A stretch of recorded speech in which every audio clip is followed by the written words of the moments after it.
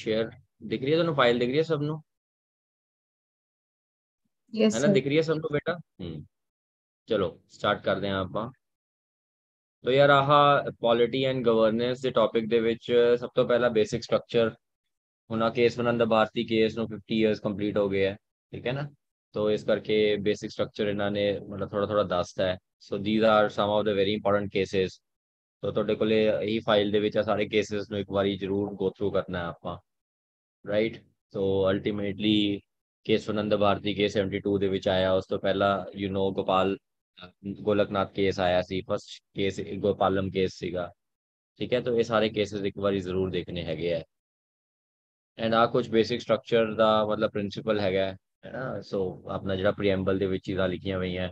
ਉਹ ਸਾਰਾ basic structure ਦੇ ਵਿੱਚ ਆ ਜਾਂਦਾ। ਹੈ and significance of basic structure ਕੀ ਹੈਗਾ? ਇਹ ਤੁਹਾਨੂੰ ਮਤਲਬ ਸ਼ਾਇਦ ਨਾ ਪੁੱਛਣ ਕੁਐਸਚਨ ਪਰ ਪੁੱਛ ਵੀ ਸਕਦੇ ਆ। ਇਹ ਤਾਂ ਈਜ਼ੀ ਹੈ, ਤੁਸੀਂ ਆਪਸ਼ਨਸ ਕੱਢ ਕੇ ਦੇਖ ਸਕਦੇ ਹੋ ਕਿ ਕੀ ਹੋ ਸਕਦਾ ਇਹਦੇ ਵਿੱਚ ਸਿਗਨੀਫੀਕੈਂਸ ਐਂਡ ਆਰਟੀਕਲ 368 ਤੁਹਾਨੂੰ ਪਤਾ ਅਮੈਂਡਮੈਂਟ ਦਾ ਆਰਟੀਕਲ ਹੈਗਾ। ਮੇਰਾ ਕੁਝ ਕੇਸਿਸ ਹੈ ਜਿਹੜੇ ਬੇਸਿਕ ਸਟਰਕਚਰ ਡਾਕਟਰਿਨ ਤੇ ਐਪਲੀਕੇਬਲ ਹੈਗੇ ਆ, ਜਿਵੇਂ ਮਿਨੇਰਵਾ ਮਿਲ ਕੇਸ ਹੋ ਗਿਆ ਕਿ ਹੋਤੋ ਹੋਲੋਹਾਨ ਹੋ ਗਿਆ, ਇੰਦਰਾ ਸਾਨੀ ਹੋ ਗਿਆ ਸਰ ਬੋਮਈ ਹੋ ਗਿਆ। ਮੈਨੂੰ ਨਹੀਂ ਲੱਗਦਾ ਕਿ ਤੁਹਾਨੂੰ ਇਹ ਕੇਸਿਸ ਮਤਲਬ ਹੁਣ ਇਸ ਇਸ ਸਟੇਜ ਆਫ ਪ੍ਰੈਪਰੇਸ਼ਨ ਦੇ ਵਿੱਚ ਤੁਹਾਨੂੰ ਇਹ ਕੇਸਿਸ ਦਾ ਨਾਮ ਪਤਾ ਹੋਵੇ, ਪਤਾ ਹੋਣਾ ਚਾਹੀਦਾ ਬਿਕੋਜ਼ ਬਹੁਤ ਹੀ ਯੂ نو ਫੇਮਸ ਕੇਸਿਸ ਹੈਗੇ ਆ ਇਹ, ਠੀਕ ਹੈ, ਤਾਂ ਇਹ ਜ਼ਰੂਰ ਦੇਖ ਲਿਓ। 9 ਸ਼ਡਿਊਲ ਅਗਰ ਆਪਾਂ ਦੇਖੀਏ ਤਾਂ ਇਹ ਪਹਿਲਾ ਸ਼ਡਿਊਲ ਸੀਗਾ ਜਿਹੜਾ ਆਫਟਰ ਦਾ ਕਨਸਟੀਟਿਊਸ਼ਨ ਆਇਆ ਸੀ ਹੈ ਨਾ ਇੰਟਰੋਡਿਊਸ ਕੀਤਾ ਗਿਆ ਸੀ। ਐਂਡ ਇਹਦੇ ਵਿੱਚ ਯੂ نو ਕਿ ਇਨੀਸ਼ੀਅਲੀ ਇਹ ਆਇਆ ਸੀਗਾ for the purpose of bringing the land acts ਹੈ ਨਾ ਲੇਕਿਨ ਅਲਟੀਮੇਟਲੀ ਕਿਉਂਕਿ ਇਹਨੂੰ ਜੁਡੀਸ਼ੀਅਲ ਰਿਵਿਊ ਤੋਂ ਇਮਿਊਨ ਕਰ ਦਿੱਤਾ ਗਿਆ ਸੀਗਾ, ਤਾਂ ਫਿਰ ਲੋਕ ਰੈਜਰਵੇਸ਼ਨ ਵਾਲਾ ਸੀਨ ਵੀ ਇਹਦੇ ਵਿੱਚ ਪਾਣਾ ਸ਼ੁਰੂ ਕਰਤਾ। ਲੇਕਿਨ ultimately IR Coelho case ਤੁਹਾਨੂੰ ਪਤਾ ਹੋਣਾ ਚਾਹੀਦਾ, ਤਾਮਿਲਨਾਡੂ ਨਾਲ ਜਿਹੜਾ 2007 ਚ ਆਇਆ ਸੀਗਾ ਐਂਡ ਉਹਦੇ ਵਿੱਚ ਜਿਹੜਾ ਹੈ 9 ਸ਼ਡਿਊਲ ਇਹਦੇ ਵਿੱਚ ਆ ਗਿਆ। ਫਿਰ ਆ ਕਲਾਸ ਆਰਟੀਕਲ 31 ਨਾ ਇਹ ਪਤਾ ਹੋਣਾ ਚਾਹੀਦਾ ਹੈ ਕਿ 31 ਏ ਬੀ ਸੀ ਕਿਵੇਂ ਐਕਸੈਪਸ਼ਨਸ ਹੈ ਫੰਡਾਮੈਂਟਲ ਰਾਈਟਸ ਨੂੰ ਲੈ ਕੇ, ਤਾਂ ਉਹ ਸਾਰੀ ਚੀਜ਼ਾਂ ਪਤਾ ਹੋਣੀ ਚਾਹੀਦੀਆਂ। ਹੁਣ ਇਹਨਾਂ ਰੀਸੈਂਟਲੀ ਅਸਾਮ ਤੇ ਅਰੁਣਾਚਲ ਪ੍ਰਦੇਸ਼ ਦੇ ਵਿੱਚ ਇੱਕ ਅਗਰੀਮੈਂਟ ਹੋ ਗਿਆ ਕਿ ਉਹਨਾਂ ਨੇ ਆਪਣਾ 10 ਸਾਲ ਤੋਂ ਚੱਲਦਾ ਹੋਇਆ ਇੰਟਰਸਟੇਟ ਬਾਰਡਰ ਡਿਸਪਿਊਟ ਜਿਹੜਾ ਸੋਲਵ ਕਰ ਲਿਆ। ਤੋ ਬਾਰਡਰ ਡਿਸਪਿਊਟ ਆਪਣੇ ਦੇਸ਼ 'ਚ ਬਹੁਤ ਸਟੇਟਸ ਦੇ ਵਿੱਚ ਐਗਜ਼ਿਸਟ ਕਰਦਾ ਹੈ। ਤੇ ਇਸ ਮੈਪ ਦੇ ਵਿੱਚ ਤੁਸੀਂ ਜ਼ਰੂਰ ਦੇਖਣਾ ਹੈ ਸਾਰੇ ਬਾਰਡਰ ਡਿਸਪਿਊਟਸ ਨੂੰ, ਠੀਕ ਹੈ? ਜਿਵੇਂ ਹਰਿਆਣਾ, ਪੰਜਾਬ ਦਾ, ਚੰਡੀਗੜ੍ਹ ਦੇ ਰਿਗਾਰਡਿੰਗ ਹੈ। ਮਹਾਰਾਸ਼ਟਰ, ਕਰਨਾਟਕਾ ਦਾ, ਬੇਲਗਾਮ ਦੇ ਰਿਗਾਰਡਿੰਗ ਹੈ। ਕਰਨਾਟਕਾ, ਕੇਰਲਾ ਦਾ, ਕਸਰਗੋਡ ਦੇ ਰਿਗਾਰਡਿੰਗ ਹੈ। ਤੋ ਇਹਦੇ ਵਿੱਚ active and dormant border disputes ਦੇ ਰੱਖੇ ਹੈ। ਦ ਪੁਆਇੰਟ ਵਾਸ ਕਿ ਅਸਾਮ ਜਿਹੜਾ ਹੈ ਹੈ ਨਾ? ਅਸਾਮ ਜਿਹੜਾ ਹੈ ਸਾਰੇ ਬੇਸਿਕਲੀ ਜਿੰਨੇ ਵੀ, ਹੈ ਨਾ ਨਾਰਥ ਈਸਟ ਸਟੇਟਸ ਹੈਗੀਆਂ ਉਹਨਾਂ ਸਾਰਿਆਂ ਨਾਲ ਹੀ ਅਸਾਮ ਦਾ ਬਾਰਡਰ ਲੱਗਦਾ ਹੈ। ਤੋਂ ਅਸਾਮ ਦਾ ਆਲਮੋਸਟ ਸਾਰਿਆਂ ਨਾਲ ਹੀ ਇਸ਼ੂਜ਼ ਚੱਲਦੇ ਆ ਤੋਂ ਇਹਦੇ ਵਿੱਚ ਜ਼ੋਨਲ ਕਾਉਂਸਲ ਦੀ ਚਰਚਾ ਕੀਤੀ ਗਈ ਹੈ, ਜੋ ਕਿ ਸਟੇਟ ਰੀਆਰਗੇਨਾਈਜੇਸ਼ਨ ਐਕਟ ਤੋਂ ਬਾਅਦ ਆਇਆ ਸੀ। ਐਂਡ ਇੰਟਰਸਟੇਟ ਕਾਉਂਸਲ ਦਾ ਤੁਹਾਨੂੰ ਪਤਾ ਹੀ ਹੈ 263 ਆਰਟੀਕਲ ਹੈ ਆਪਣੇ ਦੇਸ਼ ਦੇ ਕਨਸਟੀਟਿਊਸ਼ਨ ਦਾ। ਇਹ ਜ਼ਰੂਰ ਦੇਖ ਲਿਓ। ਫਿਰ ਆ ਡੈਮੋਕ੍ਰੈਟਿਕ ਡੀਸੈਂਟਰਲਾਈਜੇਸ਼ਨ ਹੈ ਨਾ? 30th ਐਨਵਰਸਰੀ ਆਈ ਹੈ। ਤੋਂ ਇਥੋਂ ਕੁਐਸਚਨ ਪੁੱਛਿਆ ਜਾ ਸਕਦਾ ਹੈ। I hope 73rd and 74th amendment ਤੁਹਾਡੇ ਕਲੀਅਰ ਹੋਣੇ ਚਾਹੀਦੇ ਆ ਠੀਕ ਹੈ? ਸੋ ਵਾਟਐਵਰ ਹੈ ਨਾ it takes you to read 73rd and 74th amendment make sure you do that ਫਿਰ ਐਮਪੀ ਨੂੰ ਡਿਸਕੁਆਲੀਫਾਈ ਕਿਵੇਂ ਕੀਤਾ ਜਾ ਸਕਦਾ ਆਪਣੇ ਦੇਸ਼ ਦੇ ਵਿੱਚ ਹੁਣ ਰੀਸੈਂਟਲੀ ਕੋਈ ਗਿਲਟੀ ਹੋਇਆ ਸੀ ਕ੍ਰਿਮੀਨਲ ਡਿਫੇਮੇਸ਼ਨ ਦਾ ਵਾਇਨਾ ਦਾ ਐਮਪੀ ਉਹ ਰੀਸੈਂਟਲੀ ਕੌਣ ਸੀਗਾ ਮੈਨੂੰ ਕਮੈਂਟ ਬਾਕਸ 'ਚ ਦੱਸ ਦਿਓ ਠੀਕ ਹੈ ਤੋਂ ਰਾਹੁਲ ਗਾਂਧੀ ਹੈ ਨਾ ਤੋਂ ਅਲਟੀਮੇਟਲੀ ਉਹਨੂੰ ਡਿਸਕੁਆਲੀਫਾਈ ਕਰਨ ਦੀ ਜਿਹੜੀ ਹੈ ਮਤਲਬ ਉਹ ਚੱਲ ਚੱਲ ਰਹੀ ਹੈ ਤੋਂ ਉਹ ਡਿਸਕੁਆਲੀਫਾਈ ਕਿਵੇਂ ਹੋਊਗਾ ਤੋਂ ਆ ਸਾਰੀ ਕੰਡੀਸ਼ਨਸ ਦੇ ਰੱਖੀਆਂ ਆਰਟੀਕਲ 102 ਹੈ ਆਫਿਸ ਆਫ ਪ੍ਰੋਫਿਟ ਇਹ ਸਾਰੀ ਚੀਜ਼ਾਂ ਹੈ ਤੁਸੀਂ ਕਿੱਥੇ ਹੀ ਡਿਫੇਮੇਸ਼ਨ ਕੀ ਹੁੰਦਾ? ਦੋ ਟਾਈਪ ਦੇ ਡਿਫੇਮੇਸ਼ਨ ਹੁੰਦੇ ਕ੍ਰਿਮੀਨਲ ਤੇ ਸਿਵਲ ਹੈ ਨਾ? ਐਂਡ ਅਲਟੀਮੇਟਲੀ ਇਹ ਡਿਫੇਮੇਸ਼ਨਸ ਜਿਹੜੀਆਂ ਹੈ ਆਈਪੀਸੀ ਦੇ ਸੈਕਸ਼ਨ 499 ਦੇ ਵਿੱਚ ਮੈਂਸ਼ਨ ਹੈਗੀਆਂ। ਐਮਪੀ ਨੂੰ ਐਂਟੀ ਡਿਫੈਕਸ਼ਨ ਐਕਟ ਦੇ ਵਿੱਚ ਵੀ ਡਿਸਕੁਆਲੀਫਾਈ ਕੀਤਾ ਜਾ ਸਕਦਾ ਹੈ। ਆਰਪੀ ਐਕਟ 1951 ਚ ਵੀ ਕੀਤਾ ਜਾ ਸਕਦਾ ਹੈ। ਲਿਲੀ ਥਾਮਸ ਦਾ ਕੇਸ ਬੜਾ ਇੰਪੋਰਟੈਂਟ ਹੈ। ਇਹ ਤੁਹਾਨੂੰ ਪਤਾ ਹੋਣਾ ਚਾਹੀਦਾ ਹੈ। ਇਹਦੇ ਵਿੱਚ ਇਹੀ ਹੈ ਕਿ ਸੈਕਸ਼ਨ 8 ਕਲਾਸ 4 ਦੇ ਵਿੱਚ, ਹੈ ਨਾ?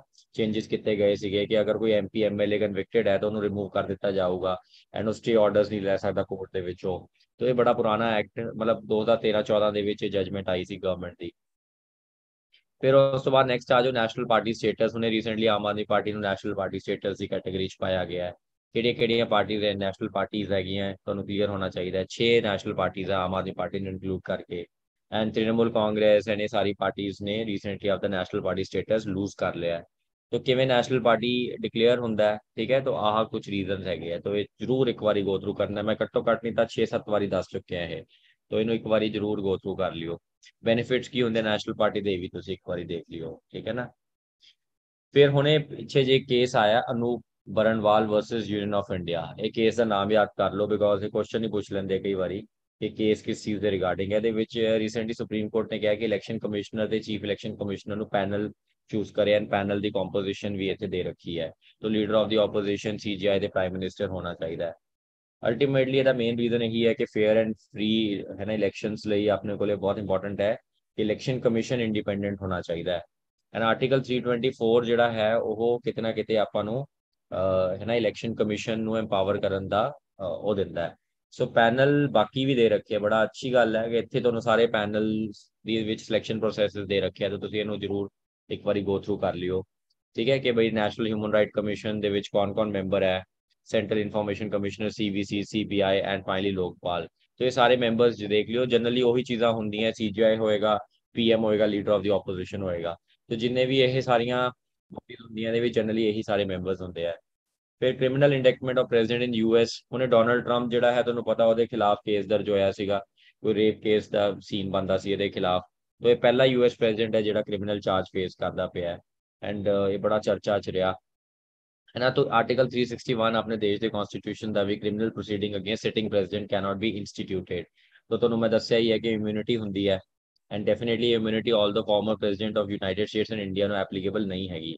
ਠੀਕ ਹੈ ਸੋ ਇਹ ਬੜਾ ਇੰਪੋਰਟੈਂਟ ਹੈ। ਐਂਡ ਆ ਕੁਆਲੀਫਿਕੇਸ਼ਨ ਇੰਪੀਚਮੈਂਟ ਇਹ ਤੁਸੀਂ ਆਪਣਾ ਹੈ ਨਾ ਬਹੁਤ ਵਾਰੀ ਦੇਖਿਆ ਹੋਊਗਾ ਪੇਪਰ ਦੇ ਵਿੱਚ ਮਤਲਬ ਕੁਆਲਿਟੀ ਲక్ష్ਮੀਕਾਂਤ ਪੜ੍ਹੀ ਹੋਊਗੀ 35 ਸਾਲ ਇਹ ਉਹ ਇਹ ਤੁਸੀਂ ਆਪਣੇ ਆਪ ਦੇਖ ਲੈਣਾ ਲੋਕਪਾਲ ਦੇ ਆਫਿਸ ਦੀ ਅਗਰ ਆਪਾਂ ਗੱਲ ਕਰੀਏ ਤਾਂ ਲੋਕਪਾਲ ਬੈਕ ਇਨ ਦ ਡੇ 2013 ਦੇ ਵਿੱਚ ਜਦੋਂ ਕੇਜਰੀਵਾਲ ਮਤਲਬ ਚਲਾਉਂਦਾ ਸੀਗੇ ਮੂਵਮੈਂਟ ਚਲਾਉਂਦਾ ਸੀ ਉਦੋਂ ਇਹ ਐਕਟ ਪਾਸ ਕੀਤਾ ਗਿਆ ਸੀਗਾ ਸਟੇਟ ਸਰਕਾਰਾਂ ਦੇ ਵਿੱਚ ਲੋਕ ਯੁਕਤਾ ਹੋਣਗੇ ਸੈਂਟਰ ਦੇ ਵਿੱਚ ਲੋਕਪਾਲ ਹੋਣਗੇ ਇੰਡੀਆ ਯੂਐਨ ਕਰਪਸ਼ਨ ਦਾ ਇਹ ਨੋ ਕਨਵੈਨਸ਼ਨ ਦਾ ਮੈਂਬਰ ਹੈਗਾ ਐਂਡ ਡੈਫੀਨਿਟਲੀ ਉਸ ਕਰਕੇ ਇੰਡੀਆ ਦੇ ਵਿੱਚ ਇਦਾਂ ਦਾ ਓਮਬਡਸਮੈਨ ਆਣਾ ਬਹੁਤ ਜ਼ਰੂਰੀ ਹੈਗਾ ਹੁਣ ਇਹਦੇ ਵਿੱਚ ਨਾ ਜੁਰਿਸਡਿਕਸ਼ਨ ਦੇ ਰੱਖੀ ਲੋਕਪਾਲ ਦੀ, ਇਹ ਬਿਲਕੁਲ ਕਲੀਅਰ ਹੋਣੀ ਚਾਹੀਦੀ ਹੈ ਕਿ ਕਿੰਨਾ ਕਿੰਨਾ ਦੇ ਉੱਪਰ ਇਹ ਕੇਸ ਜਿਹੜਾ ਹੈ ਫਾਈਲ ਹੋ ਸਕਦਾ ਹੈ। ਤਾਂ ਪ੍ਰਾਈਮ ਮਿਨਿਸਟਰ ਦੇ ਉੱਪਰ ਵੀ ਲਾਗੂ ਹੁੰਦਾ ਹੈ ਐਂਡ ਡੈਫੀਨਿਟਲੀ ਮਿਨਿਸਟਰਸ ਤਾਂ ਹੋਣਗੇ ਹੋਣਗੇ ਐਮਪੀਜ਼ ਵੀ ਹੋਣਗੇ ਹੋਣਗੇ, ਜਦੋਂ ਪ੍ਰਾਈਮ ਮਿਨਿਸਟਰ ਹੀ ਹੋ ਗਿਆ, ਤਾਂ ਫਿਰ group A B C D officers of the centre government ਵੀ ਹੋਣਗੇ। ਅਲੋਂਗ ਵਿਦ ਥੈਟ ਜਿਵੇਂ ਆਰਬੀਆਈ ਦਾ ਚੇਅਰਮੈਨ ਹੋ ਗਿਆ ਮੈਂਬਰਸ ਹੋ ਗਏ, ਉਹ ਵੀ ਸਾਰੇ ਇਹਦੇ ਵਿੱਚ ਹੋਣਗੇ।